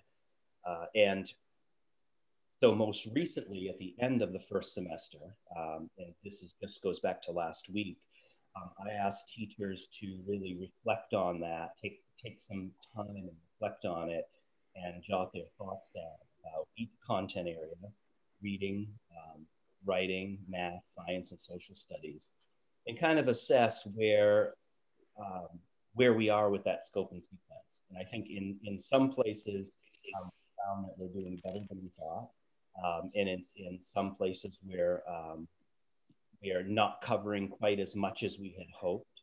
And I'll share a little bit of that. Um, but so if we go to the slide here, one thing that we've made clear at Pond Cove is that we're prioritizing writing and math. And that was from the beginning. And we, in the very beginning, we didn't know 100% for sure what that meant for social studies and science but we knew that we were going to prioritize that scope and sequence and timeline. And we also knew that there would be bumps along the way um, that would prevent us from getting to some of those social studies and, and science um, concepts. Um, and that has played out, it's been true. So, um, in general, and I'm going to give you a, a, couple just to show you the level of detail that these teachers are working within. It's very impressive. Um, so, in general, we're prioritizing reading, writing, and math and all grade level teams reported that they were co- will cover most or not all of the standards that they would cover in a typical year. Now, remember, right now we're just talking about coverage of material, right? And then the real, the real, the proof is in the pudding with assessments in the spring. But I mean, it's important that we think about what we're covering. So um, they're saying that they're they're on track to to cover most if not all, of the standards in, in reading, writing, and math. Um, but fewer skills will be taught to mastery. And that just makes sense, right? We have less face time with kids, two days a week for hybrid. Um, and um, although teachers are connecting with students four days a week fully remote, they have there are a lot of barriers to being a fully remote teacher and not having those students right in front of you. So I want to give you just a couple examples of reading, writing, and math from these teams that they gave me last week um, to show you the level of detail.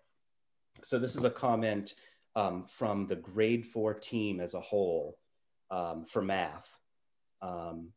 While we will not get to geometry standards um, and some of the more advanced measurement conversions, um, we will be covering all other math standards close to the extent we would in a regular year.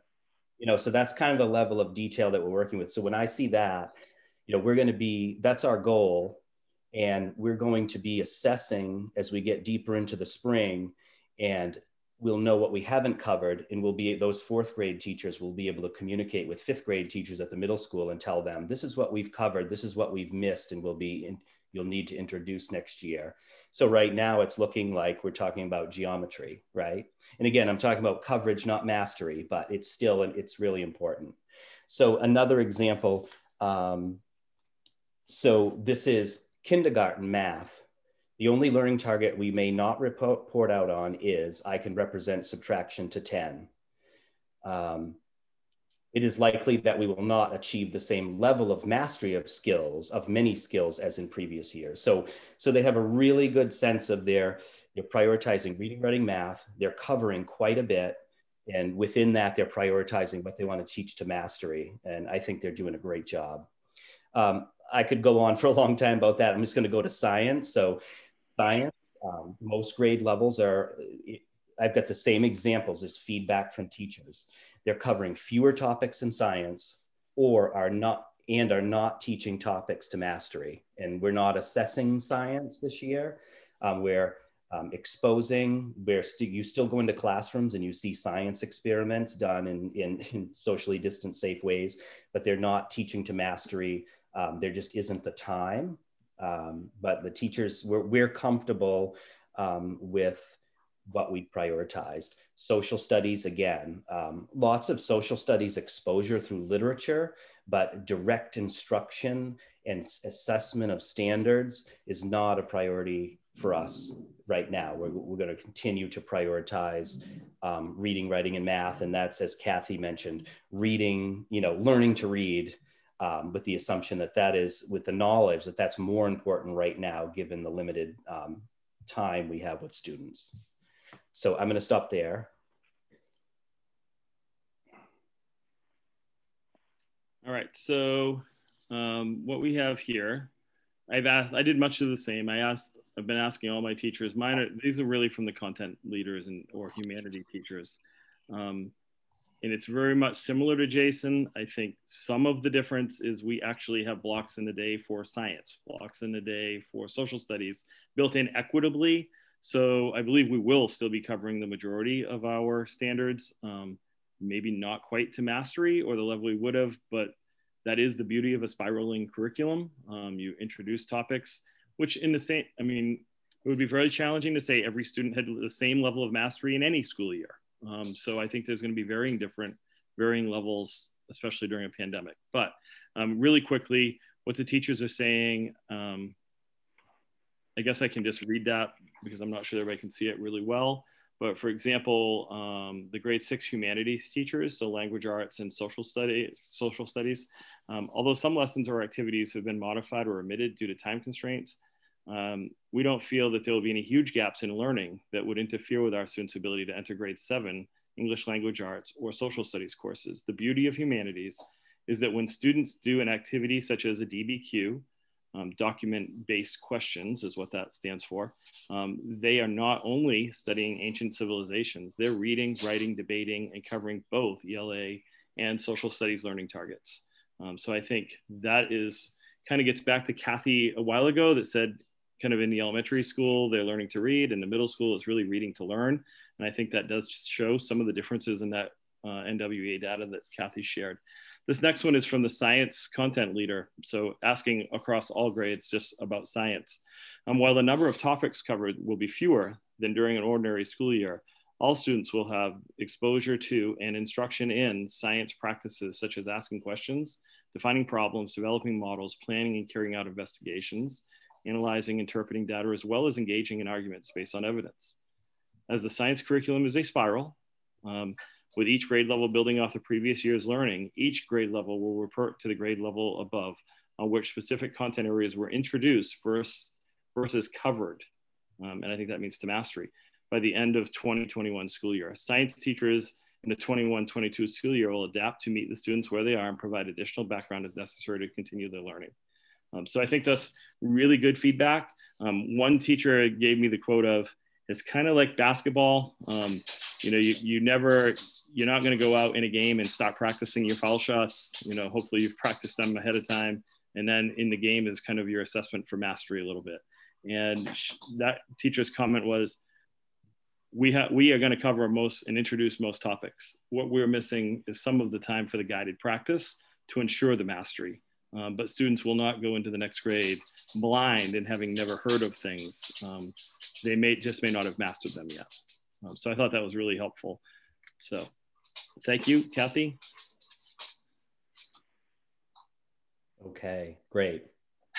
So um, responses and next steps. And I know that that is um, what we're all, you know, we're all kind of concerned about and and parents and teachers and administrators and so um, we've listed some things here um, but i, I want to go back to you know the level of detail that that our teachers are the attention to detail we have you know we have lists of of um, skills that we have covered and skills that we anticipate that we will cover for the rest of the year. And we so we will be um, using this information more than ever before. We'll be doing vertical planning in the spring. So um, typically at the end of a school year, um, you know there are um, teachers are talking to, or the beginning of the next school year, teachers are talking to um, the the previous teachers are talking to next year's teachers about where their kids were at but we're going to have to do a lot of that in the spring because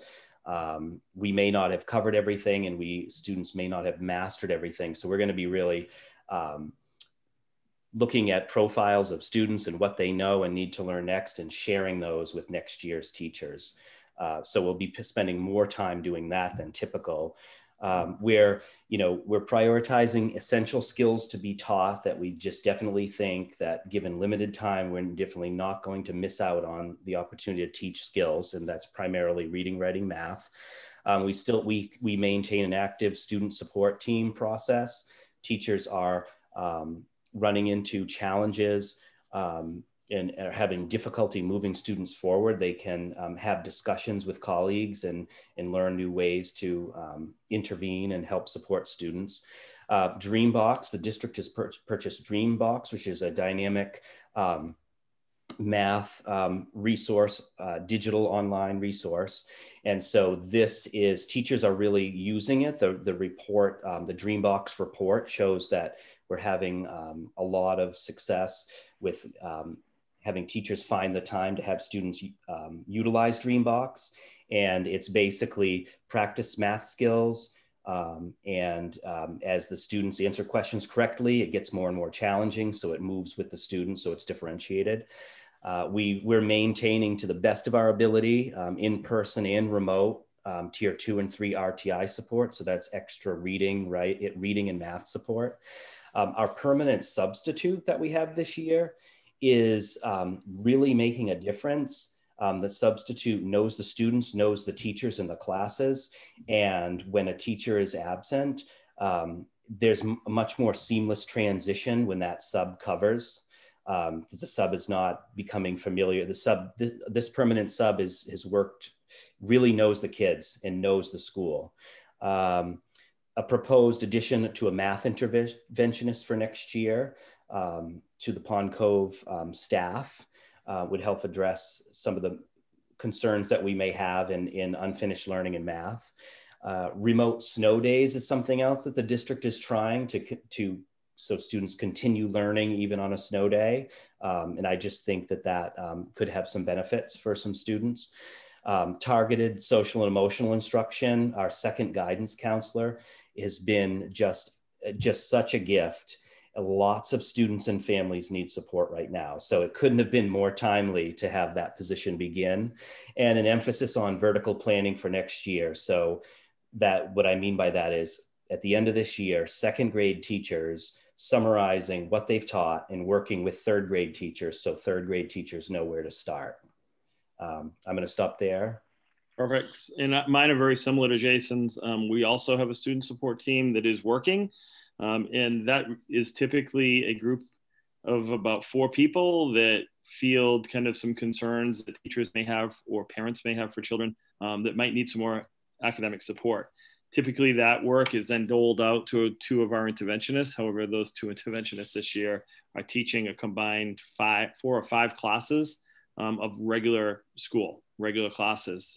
Um, and that largely is to keep the class sizes down and to allow us to be back in, in person um, for the amount of days we are. So it's still there, still working. It's just, you know, been, it's reduced a little bit. Um, allied arts programming, we, I feel like has been, that has been very important for us to maintain. I think that is some strong connections for kids. Um, world language courses maintained. One thing that I believe CAPE is known for throughout the state, and I think it's for good reason, is our high quality world, world language courses. Um, and I think that it would be a shame to just all of a sudden not be doing those to gain extra reading or extra math at this point. Um, so I think it's important to keep the integrity of our programming across the board. Um, we have added some new courses um, for grades seven and eight. So uh, I know and I knew going into this that if there was an opportunity to create a course, we should do it. And if it could be in addition to and support current learning. So it's right now it's planning for success courses, which really takes a lot of the language arts um, skills presenting, writing, um, and really puts those kind of to right on the spot and, and has kids working to demonstrate and apply their learning. Um, all students, it's not required that all students take it, but it is an opportunity in this time when people are concerned about the amount of time their kids are having in school. That is another opportunity that we tried to build in where we could. Um, without causing undue stress on students. So that's kind of in families, that's where we are. We also have the um, SEL courses and, and, monthly newsletters have been really strong and well received. Uh, Jason has Dreambox. We, right off quick, um, purchased the Ascend math program, which is an online math program. It's not online, it's pre recorded, but it's individualized. So, really, it's an attempt to help students continue to develop their math skills and with that, we it really aligns nicely with our curriculum. So you can follow. I can tell you if students are on it, how long they spent on it, um, what their pre-assessment, where it put them at, what level. Regardless, if you're an algebra one kid, maybe there, it's identified a gap back in adding fractions. You know, so you might be working on that independently to, to support your math skills. Um, we are now going to be making a move to require people to use it. In the beginning, I had it there for people to look at um, and if they were interested in doing it, do it. However, I think now um, we realize there are going to be some gaps, and we feel like it's going to be in math. Um, reading happens daily across the board. So one thing for next year's budget is a proposed position for one year uh, interventionist, which would be heavy math. Um, so it's my goal to have the most information we can about these kids, and they're going to get it through using the Ascend Math program and um, and it's so trackable that we will be able to really identify where kids are at and what they need. Um, so that's going to be a new thing starting next next semester is in school during their win. We're going to request all kids and require them to do 30 minutes of ascend um, to get them into that habit so we can track them. Um, we are also for next year exploring, well, for the rest of this year, exploring the potential for a three hour guided study hall um, for some students that may really be struggling and need that help. And it would be, um, if you're a maroon student, it would, it's potential it could happen on a gold day. Um, so that is, that's out there as a way we can try to add some supports for kids. And there'll be more information to come on that later. And I think the real key here is to provide, in addition to um, intervention for classes. So in addition to means if a student is a little bit behind in math, we're not going to pull them out of their math instruction to give them their supported math. We're going to have them go to the regular math class, and they have to may have to not attend an allied art or something, um, but they're going to get in addition to um, work, not in replacement of. I think that's really important. And then next year we're looking at scheduling both uh, double blocks um, for English language arts and math for next year. So to try to recapture some of that, that time. Thank you, Kathy. Great, thanks. Our last slide is just uh, some uh, links to resources, some resources that we've assembled. In particular, I wanted to draw your attention to the last article that students respond to adults' fixation on learning loss, which um, just provides a really interesting perspective on what we've been talking about. So, um, so a lot of information. We will post these slides um, to the website and um, invite anyone in the community with questions to contact um, any of us. We would be um, happy to speak um, in more depth or detail um, to any of the information that we shared. And of course, take questions from the board.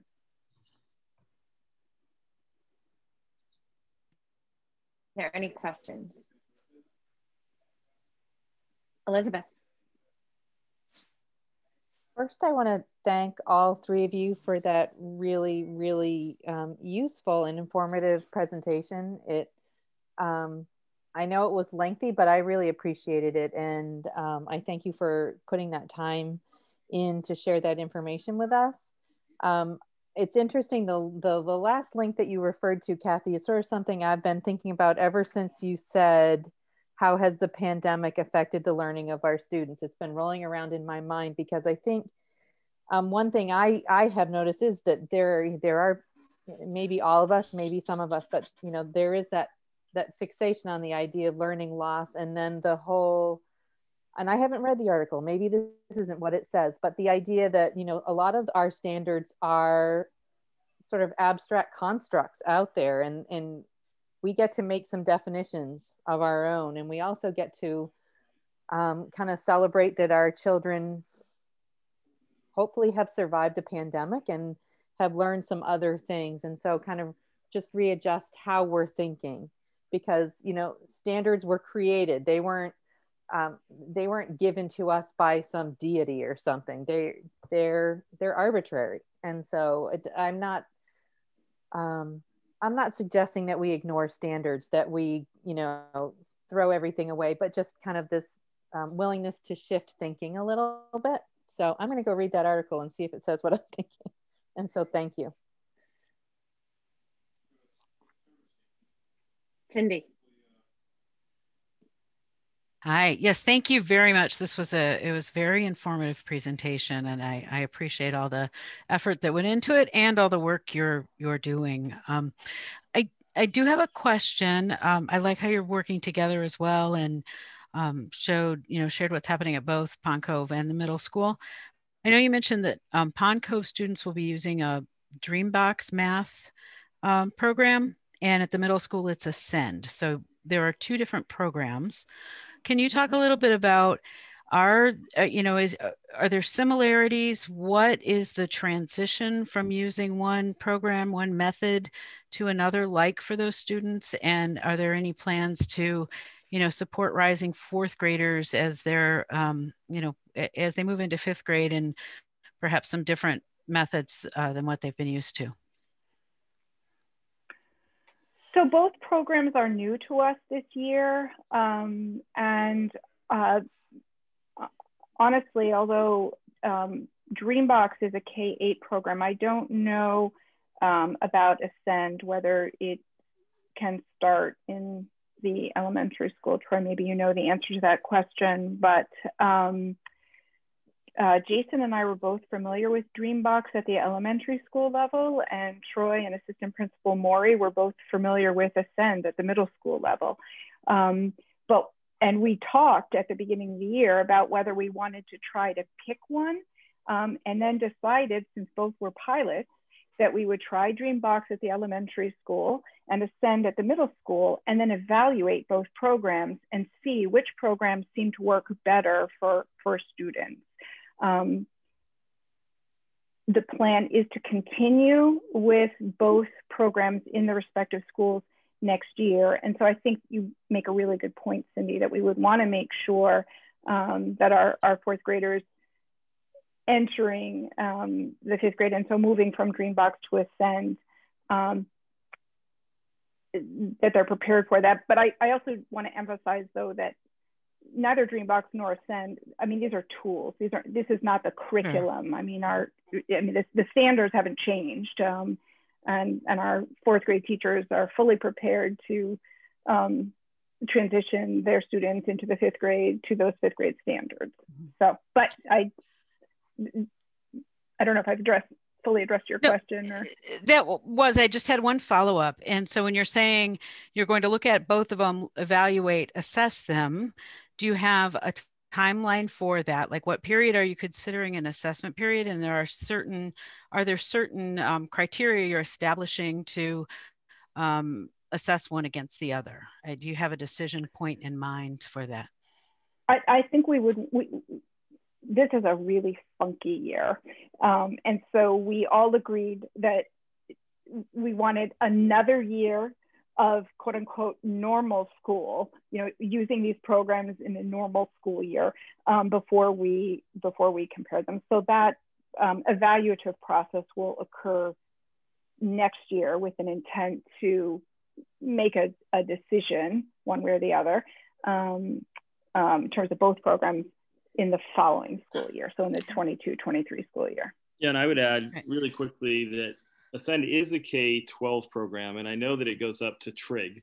Um, I'm not exactly as familiar with the lower end of it, but the one of the one of the reasons I I was comfortable with Ascend, I'm not sure that Dreambox is as much, but Ascend can basically be a tutor. Um, you know, it is a tutor for somebody, so you're not going to have to go out and hire a math tutor, um, and it can be used as that. Students take a self-assessment as long as they do it without the help of somebody. Um, it will place them relatively accurately where they're at. And if they spend their time watching the lessons that are prescribed for them specifically, um, and then they take the post assessment, they can move on. And what we can, the trackability of Ascend is what is impressive. I've had parents say, Oh, my son's been on it for this long, and I can actually see the amount of time they've been on it. Um, I can see how much time they take on a lesson. Did they skip all the lessons and just go to the assessment? um, you know, so we can see all of that level of detail, which for me, um, honestly, at Cape Elizabeth, a program like that wasn't needed as much in the past because a lot of our kids were really thriving kind of mathematically. Um, there still was a need for it, but not totally for all students. And I feel like right now that prescription, that level of specificity around what standards kids have mastered and what ones they have not is really important as we start to go into the summer and into next year um, for placements and, and actually programming design and what do we need and where are those gaps. So that that really is the rationale behind why I, I did that one. And I'm not familiar with Dreambox as much, but I know that's there.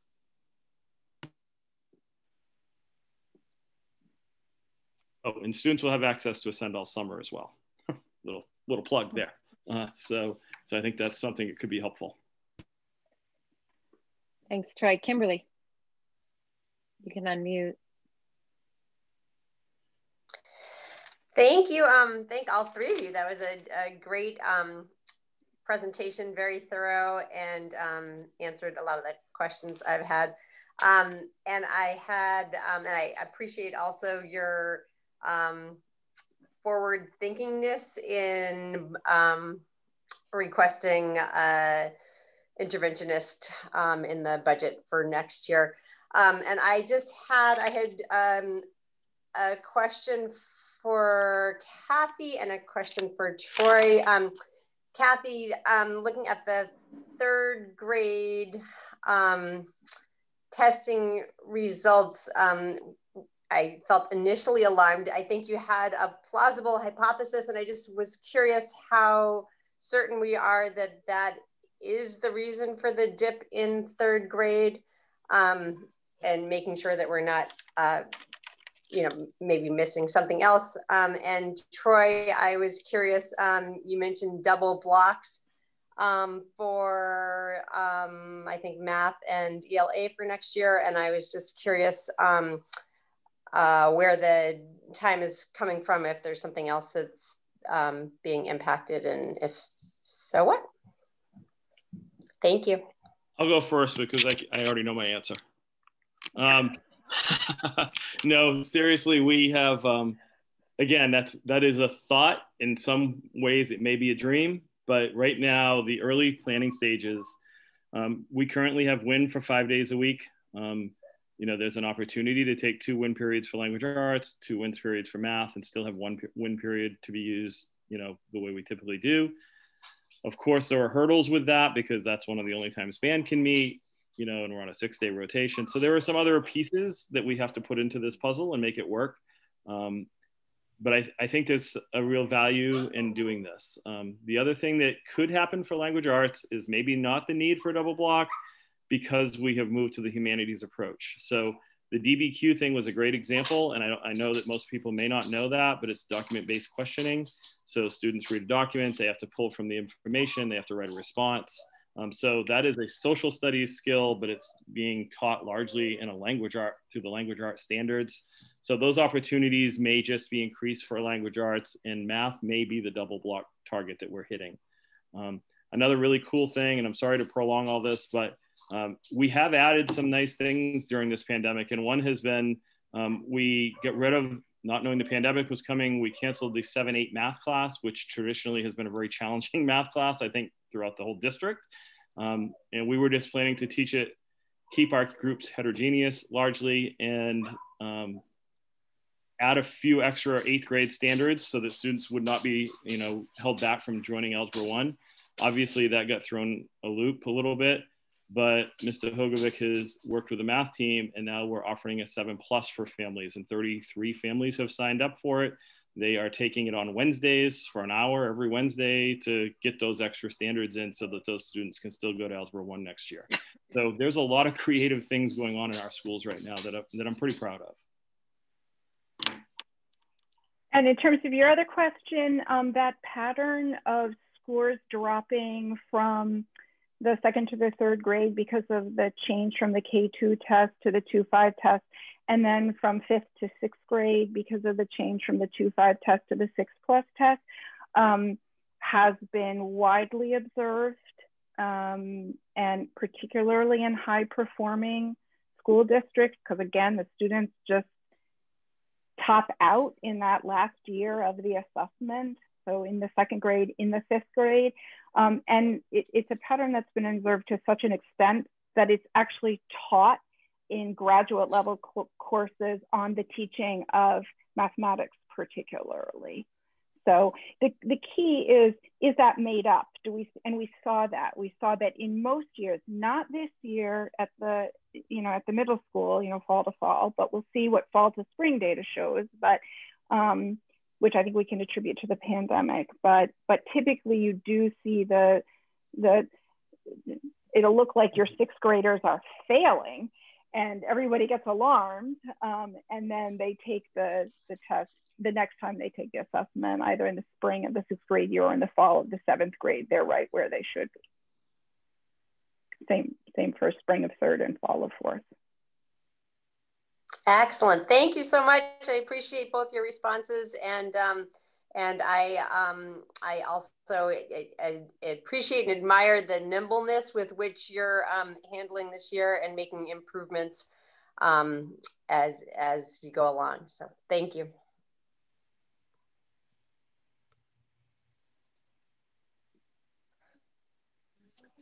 All right, moving on. Uh, Jeff. Jeff. Oh. Okay. Um, thank you. I'm gonna I'm gonna sort of cover the same topic, but I'm gonna cover a different topic first. I don't I am not gonna have the same kind of data analysis that you've heard from Pond Cove in the middle school, primarily because the comparable assessment to the NWEA that we use is the PSAT, uh, which we just administered last month and do not have results for yet.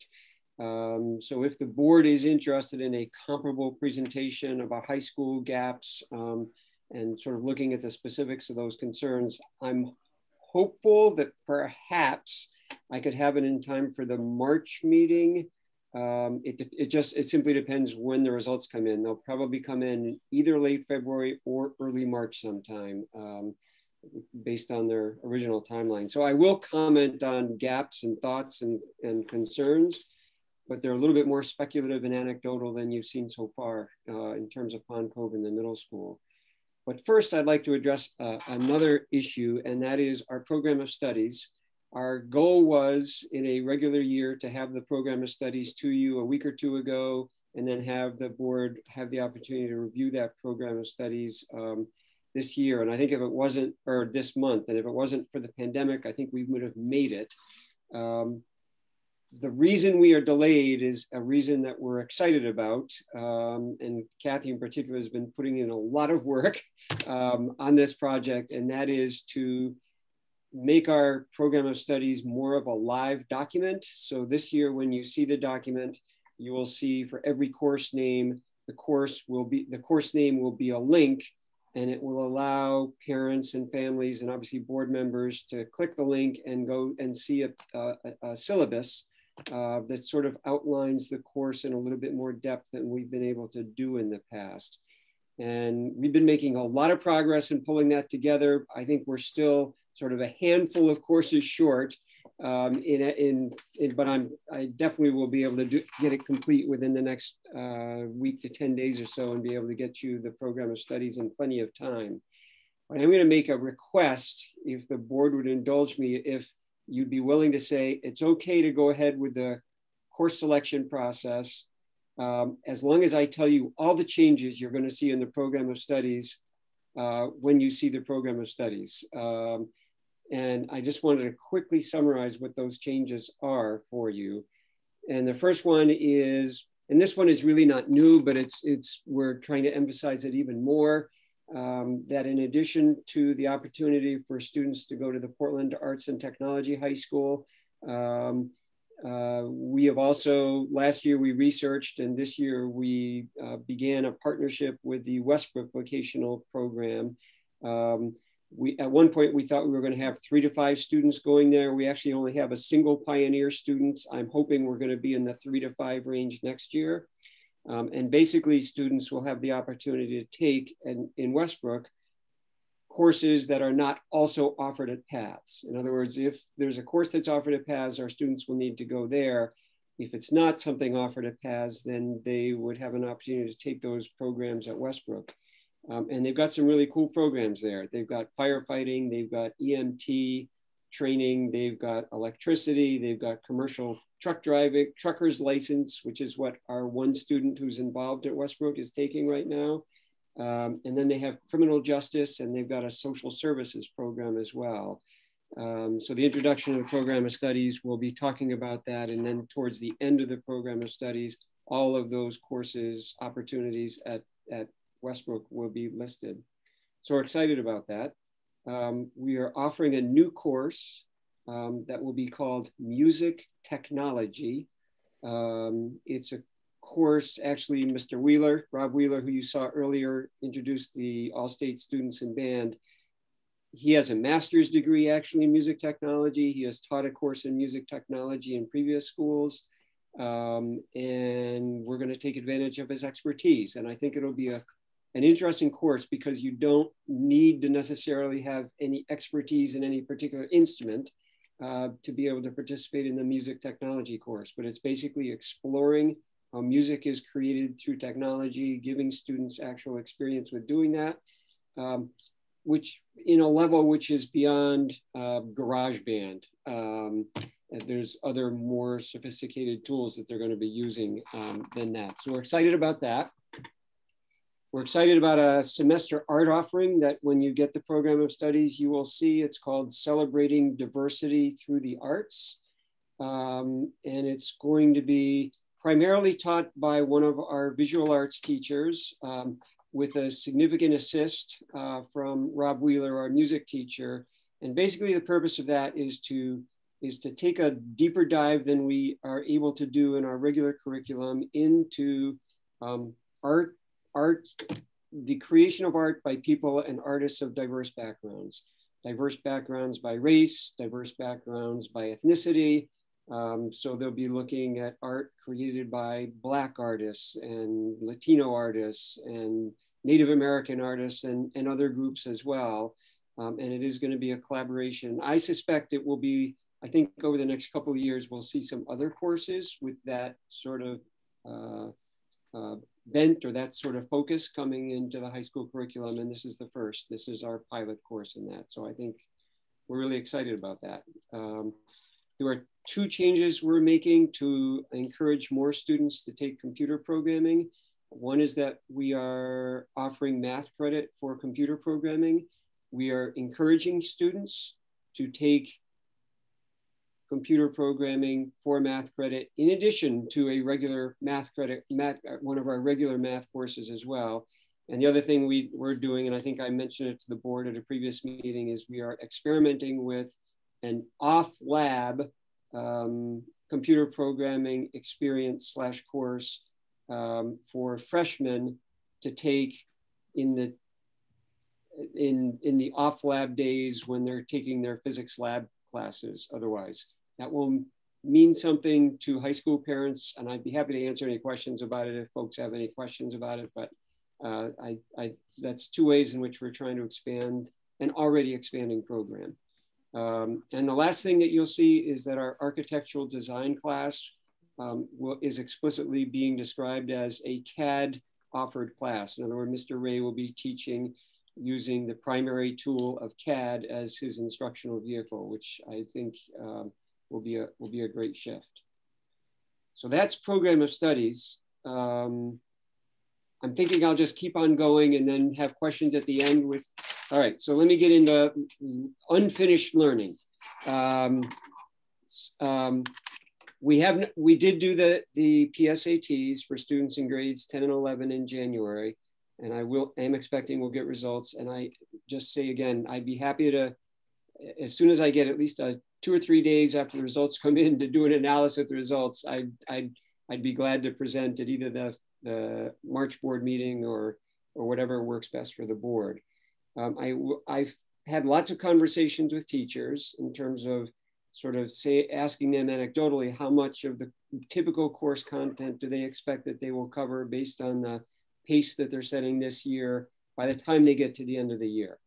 Um, and the answers vary a little bit depending on the course, depending on the level of the course, and, the, and depending on the grade level of the students. In, in general, I would say the courses that are being taught to students who are older, they're covering a higher percentage, but the percentages I'm hearing are anywhere between 60 and 90%. Um, and I think the, the mid-range is probably in the 65 to 80% range, roughly, probably maybe, maybe 65 to 70%, 75% range.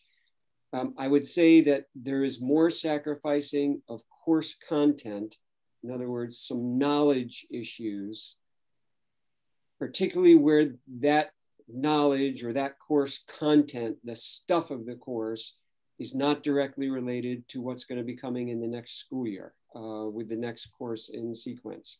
Um, I think everybody is going into a little bit less depth on topics that are less connected to what comes next.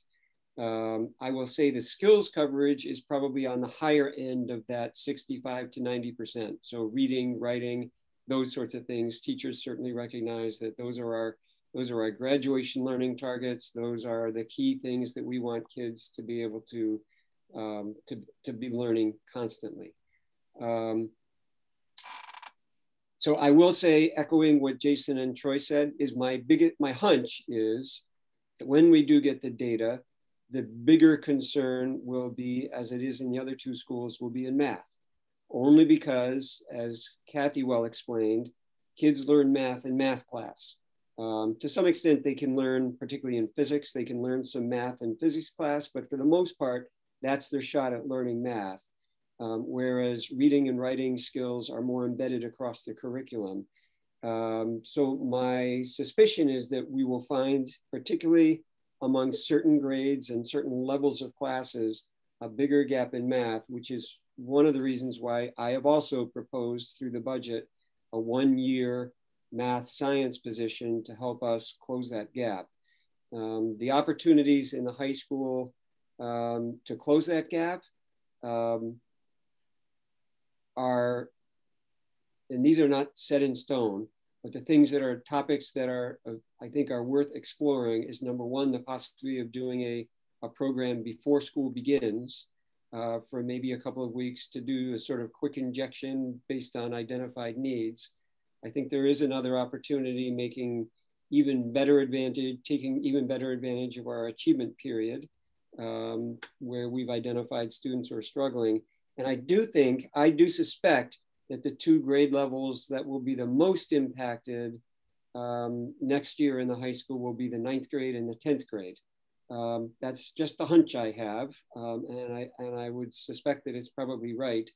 And the interesting thing about that, and I do not have a program to unfold to you today, I can, but I only have the concept that those, the ninth grade and the 10th grade also happen to be the years that also have extra lab periods one semester of the year, and they have off lab days.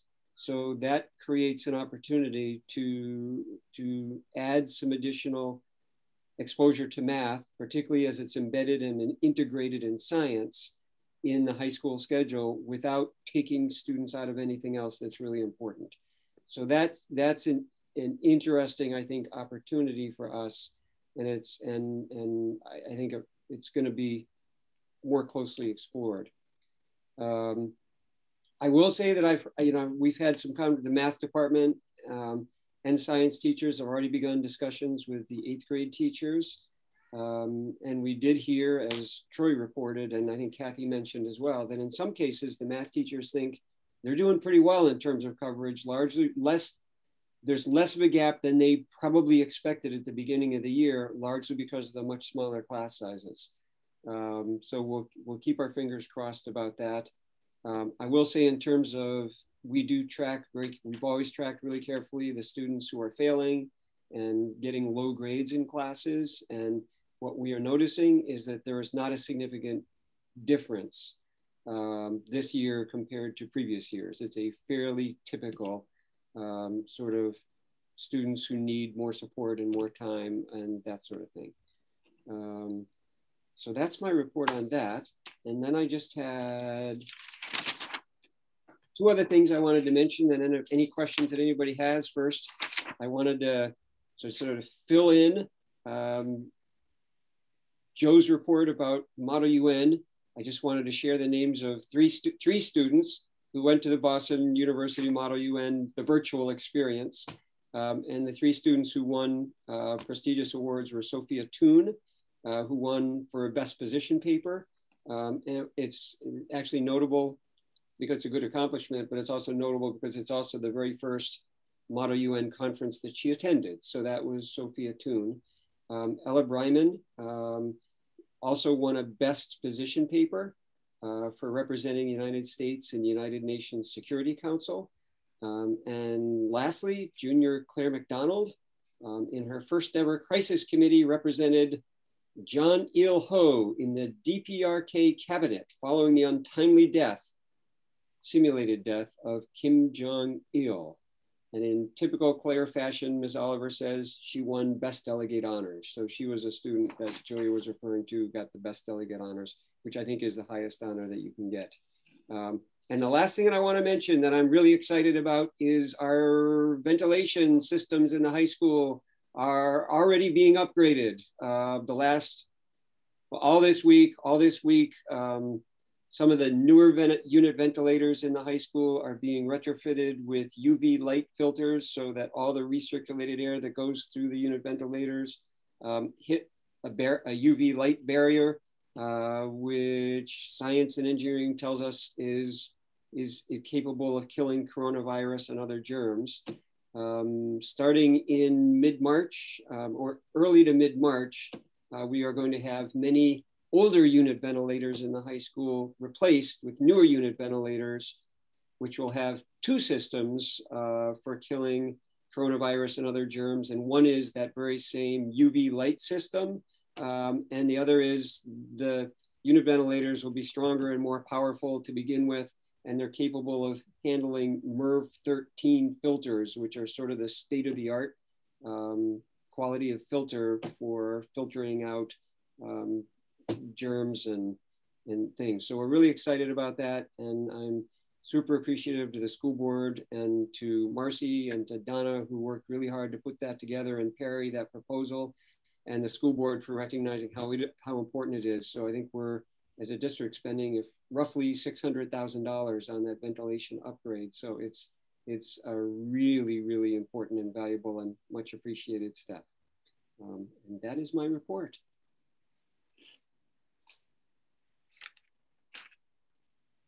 Thank you, Jeff. Are there questions?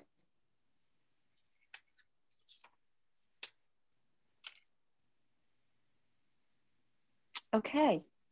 Um, so then Marcy, Yes, hi everyone, and thank you, Jeff. That's a good segue into my presentation tonight. Um, for the next few weeks, I will be focusing on all the final invoicing for the coronavirus grant money that we received. So all of the ventilation project invoices, I'll be invoicing that to the state to get our money retrieved that we've been granted through our grant. So we're very excited. Um, we will be uh, diving deep into full budget analysis now that we have um, our budget process moving um, this winter and spring. Um, I would like, to, my goal is to really dive deep into um, doing some budget analysis and um, good visuals for you all to have. For our monthly financial report, the percentage of the year that has occurred as of January 31st is 58% of the year. So right now at this point, the total general fund expenditures that we have has come to 52% at this time. The average percentage spent at this time for the past five years is 55% spent. So we are three points below the average of spending patterns at this time. The range that we've been monitoring for, for this year have been um, for every month a three point range. Last month was a four point range below the normal spending pattern, and now we're at a six point. Um, however, we are um, monitoring closely the areas of our substitute spending. We predict that that will be something that we will want to manage and have going forward to get us through the rest of the year. So we're, we're monitoring that closely. As um, Jason had mentioned, the coronavirus relief grant money provided the full-time substitute at Pond Cove. And we are trying to continue that as much as we can from month to month basis of analyzing our expenses. So that's where we're putting our focus right now to get us through the finish line to the end of the year with um, maintaining our expense expenditures within our budget. And I would just like to do a quick shout out to our food services, our nutrition um, staff uh, Peter Esposito and Robin Taylor just received a grant from Full Plates Full Potential for $5,000 to help with the school nutrition program. And I just wanted to tell you that the school board and Superintendent Wolfrom received a thank you from Full Plates Full Potential, and they thanked you all for continuing your efforts in feeding the children. And that concludes my report. If anybody has any questions.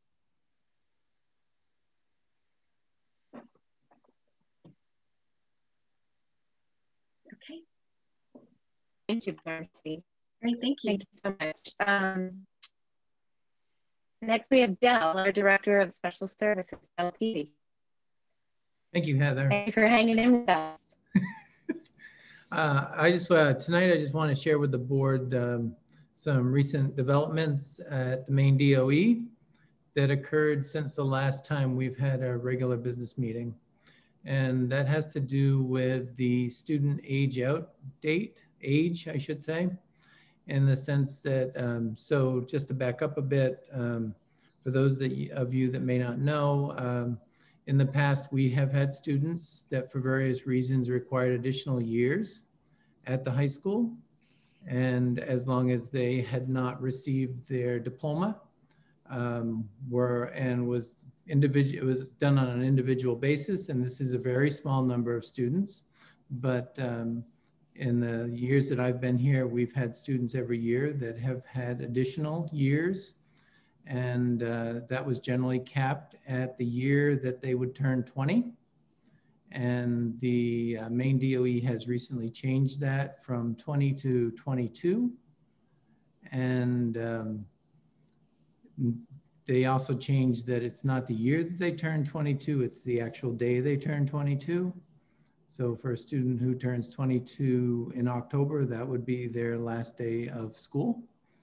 and they would be considered done and finished and aged out at that time.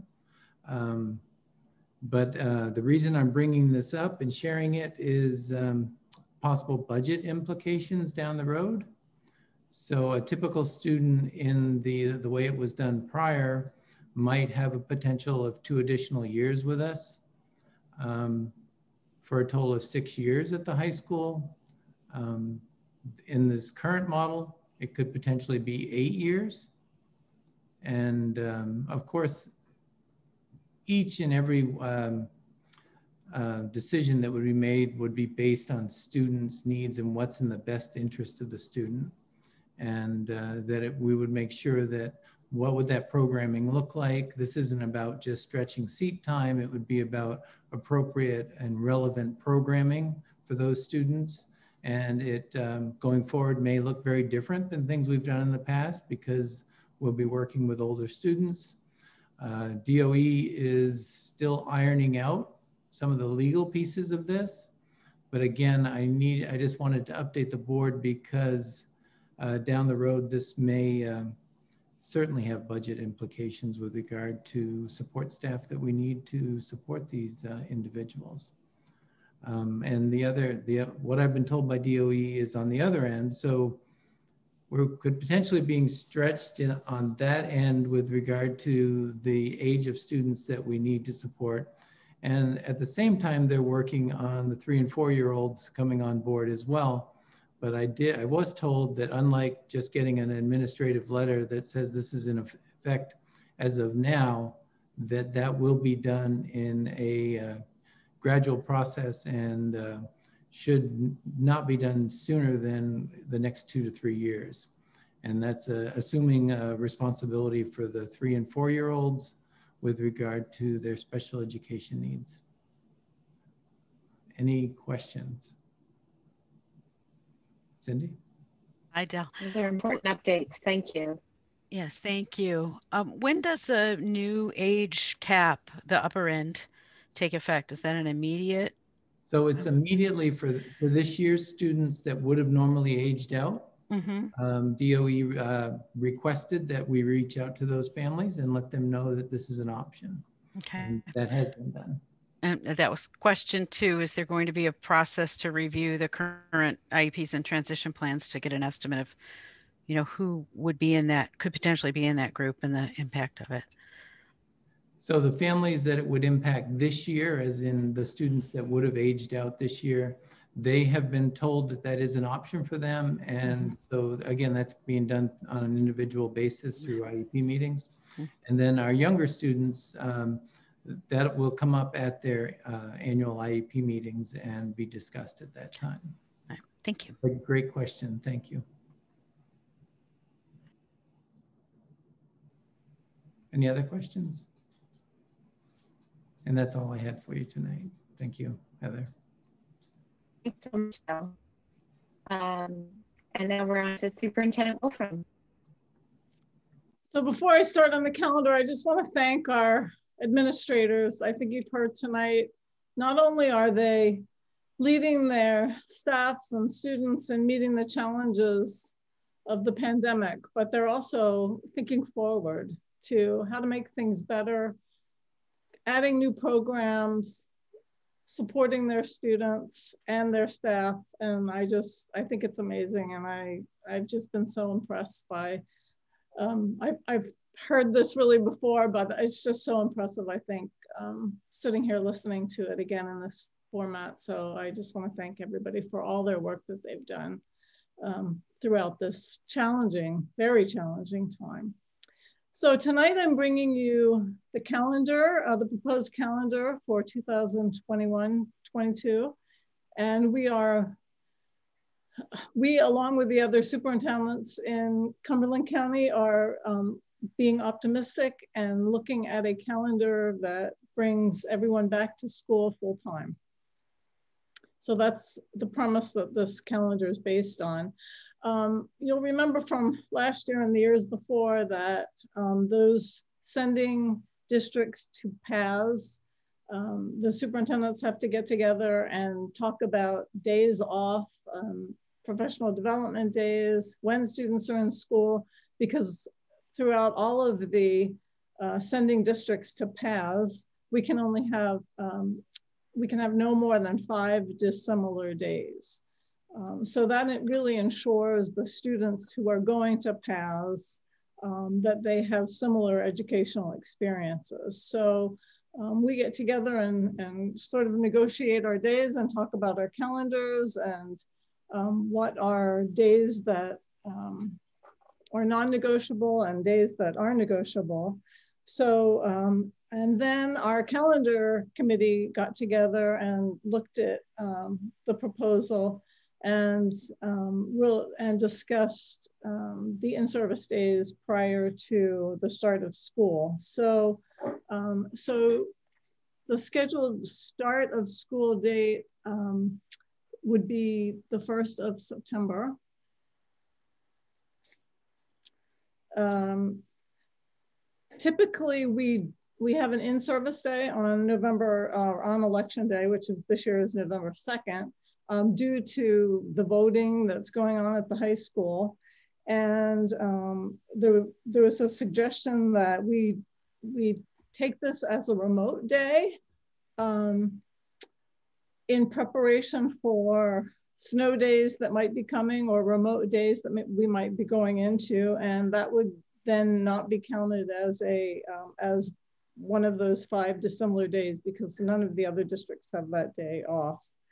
Um, Indigenous Peoples Day is um, on a Friday.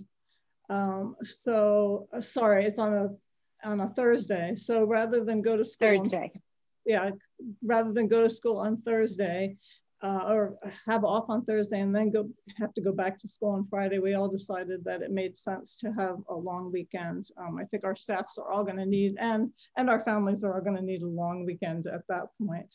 And March 11th is um, typically an in-service day for most of the Cumberland County school districts. And in fact, um, GSEA, which is our regional service center, has been um, for the last several years, and it won't happen this year, um, holding uh, regional and service uh, opportunities for our teachers where um, say the music teachers um, in our region can all get together and, and uh, have professional development specific to music and our our science teachers and our social studies teachers. So, um, so there's a proposal that um, our in-service day be planned for uh, March 11th. So the uh, school calendar needs to come to the school board for approval. So you'll be um, voting on that in a bit. And I, I do recommend that you will approve the, that calendar uh, later, the proposal later this evening. Uh, but for the budget update, we continue to work on the budget and we have gotten some good news. Um, I think I've reported to you that we are getting uh, an increase of approximately $6,000 in our state subsidy, which um, we are thankful for as we were expecting probably a cut. So that is good news. We also received word that our, um, our uh, retirement um, the amount that we pay into retirement has been reduced. Um, so that will have a significant impact on our budget. And um, there has been, um, we, we have, we require our teachers to um, apply for course reimbursements and we have had a reduction in that um, this year. So um, we started out at a 7.4% increase budget and now we're down to a 7.18 and um, there has been a uh, reduction of almost $62,000 so far. So um, that's where we are right now. Um, and a reminder that we, we hope to have a reduction in our health insurance um, increase, but we won't know that until April. Um, about the recent move to remote learning at Pond Cove and Cape Elizabeth Middle School for this week. Um, it has been due to staffing challenges, I, I, think you heard tonight, and we did, we have said all along that, that staffing challenges will be um, probably reasons that we have had to move to remote. Um, it didn't, just to calm people's fears, uh, uh, it did not involve any students testing positive, but um, it did involve some quarantining of staff. And again, we do look at those situations um, on a case by case situation and uh, try to think outside the box and come up with creative solutions. And um, at this point, um, for the safety of our students and our staff, a decision, we made the decision. I made the decision. Uh, we made the decision as a team, really, um, uh, to have to move to remote for um, Pond Cove in the middle school. Uh, the blessing in that is that next week is vacation, so it didn't have to be two weeks. Um, we only had to look at a one week switch. So we're, uh, if we have to think about timing, it was fairly good timing for that to happen. We know that um, parents are anxious to get their students back to school full time. We are anxious to get our students back uh, to school full time. But as you heard tonight, again, we do have to follow Maine CDC and Maine DOE guidelines. And included in those guidelines, as Karen said earlier, are mask wearing and social distancing. And we are limited by the size of our classrooms and the R staffing. So we, we are all working on this. We're looking forward to the day when we can get our students back in. Um, we are working on the ventilation pro uh, projects. Um, as Jeff said, and I'm thank you, Jeff, for explaining all those different uh, phases of the project because they're very technical. Um, but there are many things that um, we're doing at the high school and that those projects will move into the middle school and Pond Cove. I know people are saying, why couldn't they do the work during vacation? But we have been working with a, uh, a contractor to do this work and they are on, they don't follow the school schedule necessarily. They are trying to work with us on um, our Wednesdays and trying to schedule as much of the work as possible on Wednesdays when our students aren't in the building. Um, but we are putting the safety of our students and staff, you know, at the top of our, our priority list so that um, our, our schools can be safe for our students and our staff. And we are so appreciative of the um, the COVID money that has come from the federal government that allows us, as Jeff said, it's $600,000. So um, that's where we are right now. And we will continue to um, work to get our students back in the school. Any questions? Jen, go ahead, Jen.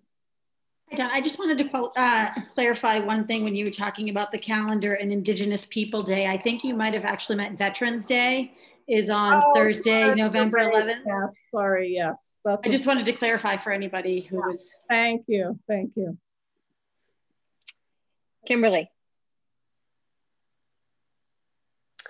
I um, I just wondered if you might just speak to the professional development days. I we had had um, for a couple years we'd piloted shorter days um, more regularly and um, this year it's all a little bit moot with the remote learning so I, I don't know if you could just speak to kind of where we're at with professional yeah, development we, we, do actually continue to follow the schedule with those um, half day wednesdays um, yeah we, i meant more moot for the families because yeah, right right right. In, in our world we are still following that right yes, no, and do have we uh, it has been successful. People have been uh, staff have been happy to have a longer um, a longer period of time to really delve into the work.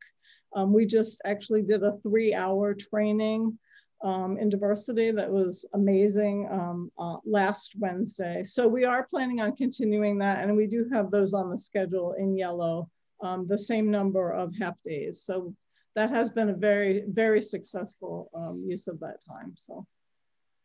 Perfect. Thank you for the update. And I um and I recognize you've been working very hard on the professional development days, and there's been a lot of good work happening. I, I just meant that for the families, it hasn't been impacting yeah. the schedule so much this year. Right. right. Any other questions? All right, thank you for that update, Donna. Uh, new business, may I have a motion, please? I move we Oh, approve oh, go the ahead, following. go. Oh, go ahead. No. You go, Laura. I move we approve uh, the following athletic nominations. Um, Alpine head coach at Cape Elizabeth High School, Courtney Watson. Second. Any comments or questions? Okay. Voting, Heather Altenberg is a yay. Kimberly Carr. Yay. Phil Saucier. Yay. Elizabeth Seyfried. Yay. Cindy Volz. Yay. Jen McVeigh. Yay. And Laura Danino. Yay. Great. May I have a motion, please? Go, Laura. Oh, I was going to say, Elizabeth, this one's your turn. I'm just trying to expedite. I we am I, I move we approve um, the calendar uh, 20, 21, 22 calendar. I have a second? Second. All right. Uh, is there any further discussion? Um, I was a part of those meetings. I thought they were thoughtful. Um, there were teachers involved. There were some administrators involved. Um, I think I heard Donna mention it, but um, you know there was some teacher input through a survey. Um, we don't have a ton of wiggle room uh, because of the PATHS and the no more than five dissimilar days. Um, so I think it is a good calendar, uh, and I will definitely vote for it. Is there any? Are there any other discussions, or comments, or questions? I just want to say that um, I think it's a, a really neat use of our um, expanded understanding of remote learning to instead of give that November 2nd yeah. off to change it to a, a remote learning day. I think that makes a lot of sense. So thank you for that.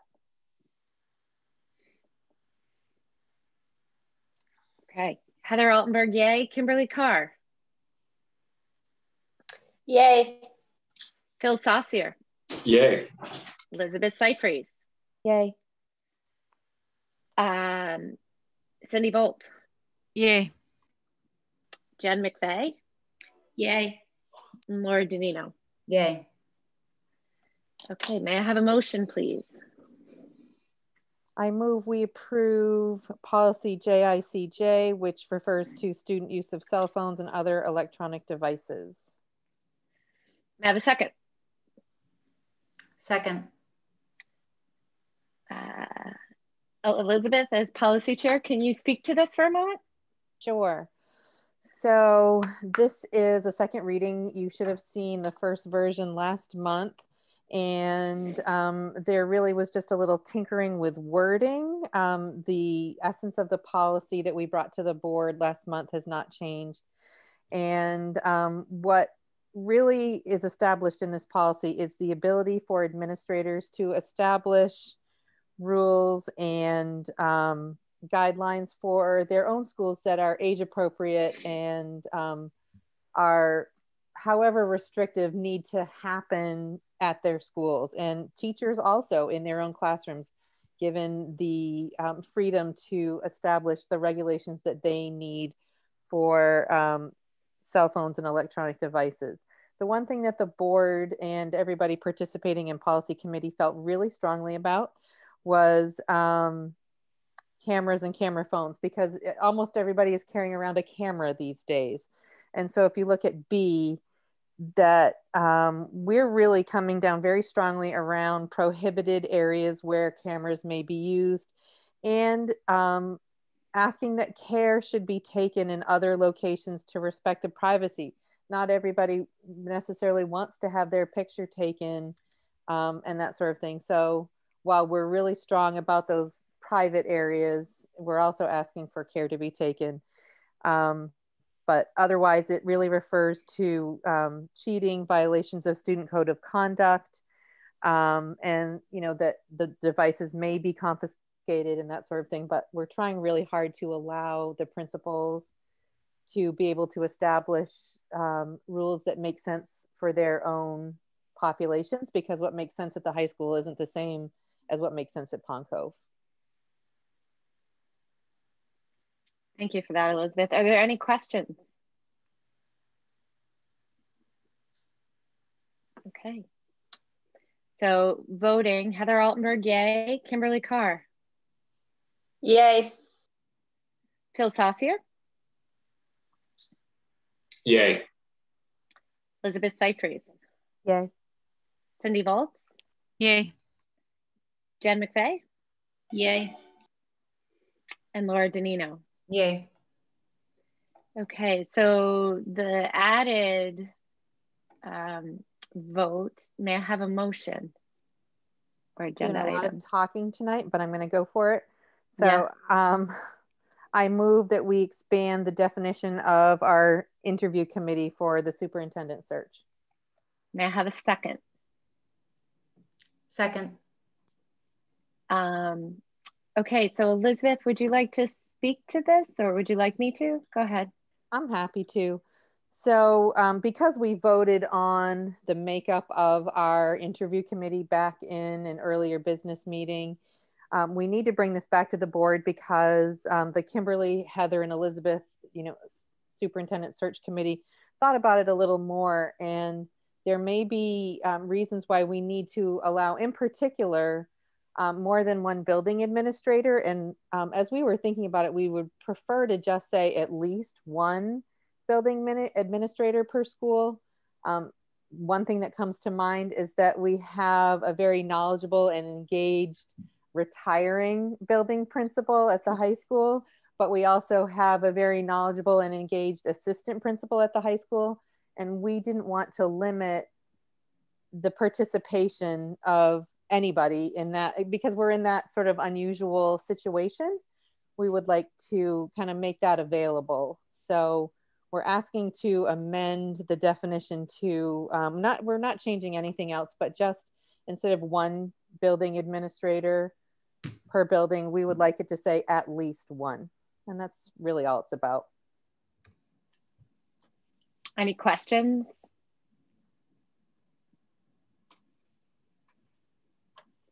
Okay, thank you for that explanation, Elizabeth. Heather Altenberg is a yay. Kimberly Carr. Yay. Phil Saucier.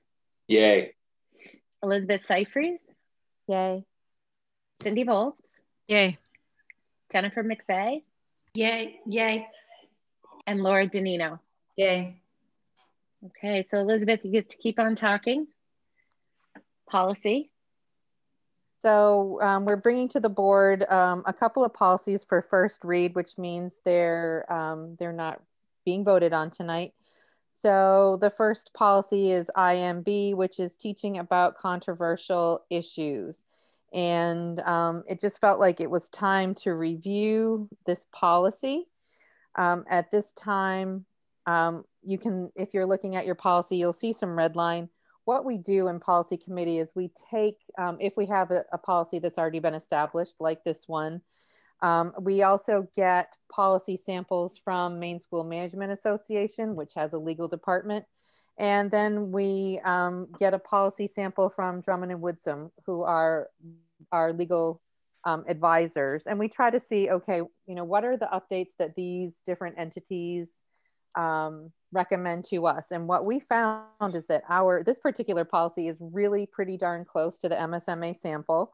Um, and what we really need to do is we're honing in on um, making sure that discussion of controversial issues is appropriate to the age, grade, and maturity of the students involved, but that we recognize that the ability to um, have these discussions is really important to the education of our students, um, and that the study is really objective and scholarly. We're not really trying to push opinion, but um, have a maximum emphasis on facts and critical thinking as a part of the educational process in our schools.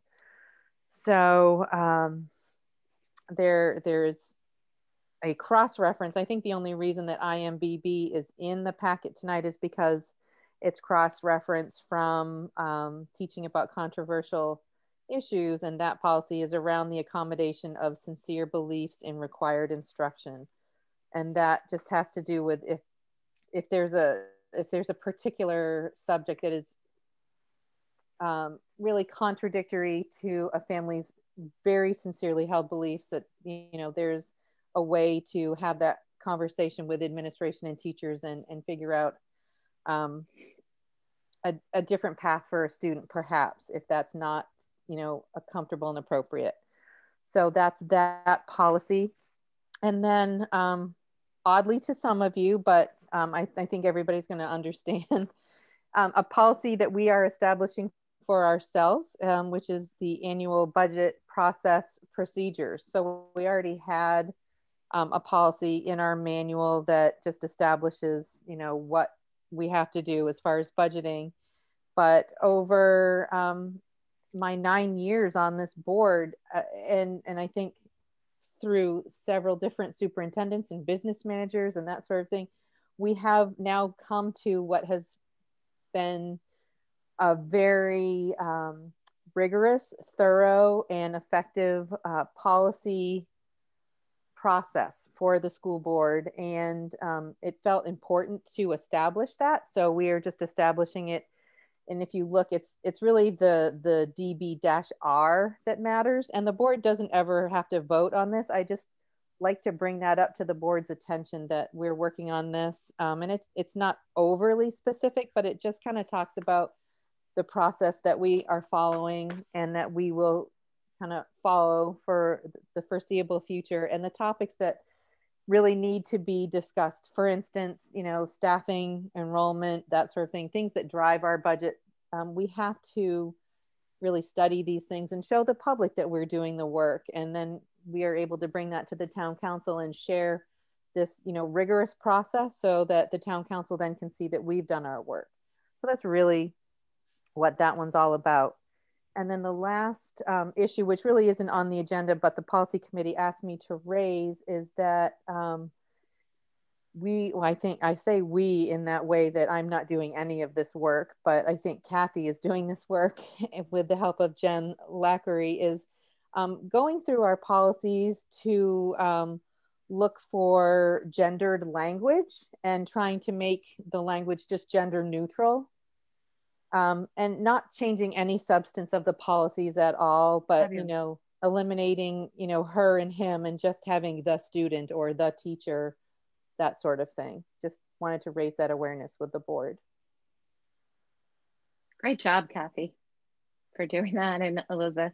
That's really. I like fabulous. to take all the credit and do none of the work, so it's all Kathy and Jen. Thank you for those updates.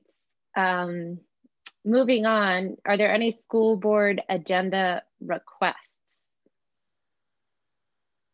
I did hear Phil's request earlier in the night. I'd like to um, second. I'd like to second Phil's request about uh, having a COVID, a specialized COVID update. Right. Yes. Thank you. Mm -hmm. So that is definitely noted. Are there any other requests? Uh, Cindy. Hi, I'd like to add uh, to next month's agenda just a discussion of overall um, kind of our strategy for COVID communications as well. I think the updates that we got tonight were um, very thorough, and I would like to, you know, it's not just in requesting an update, but to have the board spend some time discussing what that might look like and what areas we'd like to see included. Okay. Anything else? Uh, moving on, committee reports, PATHS. Um, honestly, the last meeting we had, Donna, do you remember? It was all of like 10 minutes. I showed up five minutes late. I don't even know what they said. I think they just took roll call, said they're plugging along, and that was basically it. There wasn't much new information. So I don't know, maybe I'll have more to share next time, but it was the fastest meeting I've ever been in, to say the least. Um, policy, Elizabeth, do you have anything to add? Nothing else to add. Okay, great. Um, DEI, uh, we are continuing to meet bi-weekly. Um, we're starting to get into some really nitty gritty work. There are different cohorts that are meeting and discussing. Um, I am on the PD group, and um, we start by sharing, Kathy, what's it called? Sharing accomplishments. I know that's not what we're calling it, but what is it called? We're sharing tickets to do. To dos. Yeah. And, and tickets to do. Yeah. Tickets to do. And I am just still amazed at all the little pieces um, that are that are coming to fruition in all the schools and the initiatives that teachers are making. Um, I was lucky enough to participate in the workshop through the Racial Equity Institute that uh, Donna mentioned last week. Um, I feel like every individual should um, should be a member of a three-hour workshop at the very least of that. It was it was amazing. Um, I have a newsletter that I'm I'm about to send out uh, with a little bit of write up about that experience. I'm not going to speak too much about it because you'll be able to read about it, and it's late. Um, but the work continues to to move forward, and as a district, I'm proud that we have taken um, this task force and uh, really uh, making some changes through it. Um, the school building committee we are, I'm not sure where we are in the process, Donna, maybe you can help me. We've got applications. Um, I'm on the review, the interview committee. We're reading through, we're gonna narrow it down and start to have some interviews later this month. Is that the we update we have? Yeah, we received, um, we did a request for qualifications and we received nine packets. Mm -hmm. And um, so, yes, yeah, so we're reviewing those and we will be doing some interviewing at the end of the month. So, which is the first step that needs to happen to move forward. So, um, there is work being done there. It can be, it can feel quite slow, but when you do a process like this, I'm definitely learning there's a lag time where you have to wait when you post and and wait for people to send information back in. So, um, it's not like we've been lazy, it's that we've been waiting for people to get their requests into us. Um, there's a lot of meetings coming up. Again, tomorrow, DEI Task Force is at 3.30 via Zoom. Policy is February 22nd at 3 o'clock via Zoom. We have a budget workshop coming up on the 23rd at 5, and that is um, question and answers around the budget. Um, the Finance Subcommittee um, is meeting at 8.30 on the 23rd. Again, that is a meeting between um, chairs of the school board, the town council, chairs of the um, finance chair in the school board, the town council. It is Marcy and John Q, who are the business manager of the town and um, the school, and then Donna as well as um, our town manager. Um, and they're always very great opportunities to just connect and since we are one town concept to have some of those conversations and, and share information. Technology committee, yay, Cindy. I know she's so excited about this, is um, starting back up February 24th at 1230. Um, DEI task force then will be two weeks. So we have another one on the February 24th at 3.30. PATHS um, we'll meet February 25th at 8.30 and then calendar committee, we can strike. We don't need to have that. So um, I think that covers the meetings coming up. At this point, um, we have an executive session that I'm hoping won't be too I'm long. Sorry, I know just a quick question. I'm oh, sorry to interrupt. Yeah, go ahead. Sorry, I didn't see your hand. Um, I put it up late. I was trying to be polite. the school board budget workshop on February 23rd. Is there a reason why it's um, at five o'clock instead of 6:30, which is the no, regular time? I'm thinking that it's probably 6:30. I have a question mark next to that. Okay. okay. I was like, that doesn't seem right. Yeah. Okay, good. Thank you, Elizabeth, for that, for just pointing that out. So um, after we make this motion and head into our executive session, um, the board will meet. It is not public. Um, and then we will leave executive session and come back in here simply to adjourn. If you would like to wait around to hear us adjourn, you are welcome to do that. Otherwise, thank you for sticking with this meeting tonight. I know it was very long, um, but I thought it was a very informative, helpful uh, meeting. And once again, I want to thank all of the administrators who put time into, and the nurses, I think they've all left us, but for putting the time into creating these presentations on top of all the work that you're already doing. Um, the, the public appreciates it, I know. Um, we appreciate it. It helps us answer questions to the public. So thank you so very much. Um, at this point, can I have a motion for the executive session? I move we enter into executive session pursuant to 1 MRSA Section 4056A for the purpose of discussing a personnel item. Uh, may I have a second? I'll second that. Okay, and um, Heather Altenberg's yay. Kimberly Carr. Yay. Phil Saucier. Yay. Elizabeth Seyfried. Yay. Cindy Volz. Yay. Jen McVeigh. Yay. And Laura Danino had to leave. So thank you, everyone. Um, if you are not aboard, if you could sign off and good. I am pressing. Okay, we are recording. We're back in session. I have a motion. Yeah, I'll make it because I actually wanted to say one thing in public, which was to remind everyone to get their questions in to me by Friday on the budget. Um, I didn't have a chance during the other part of the meeting, so um, I'll consolidate them. There will be, if there's questions that come up, um, obviously not, you can ask them, but it's, it's uh, I like the way Elizabeth did it and you can consolidate questions where some people have overlap. So that's just my plug to get them in by Friday. And with that, I'll make a motion to adjourn. May I have a second? A second. All right. Heather Altenberg, yay. Kimberly Carr. Yay. Phil Saucier. Yay. Elizabeth Seyfried. Yay. Cindy Volz. Yay. Jen McVeigh. Yay. And Laura Danino is no longer here this evening. Thank you, everyone. Um, I hope you have a great night. Thanks. Be well. You too. Take care. Night.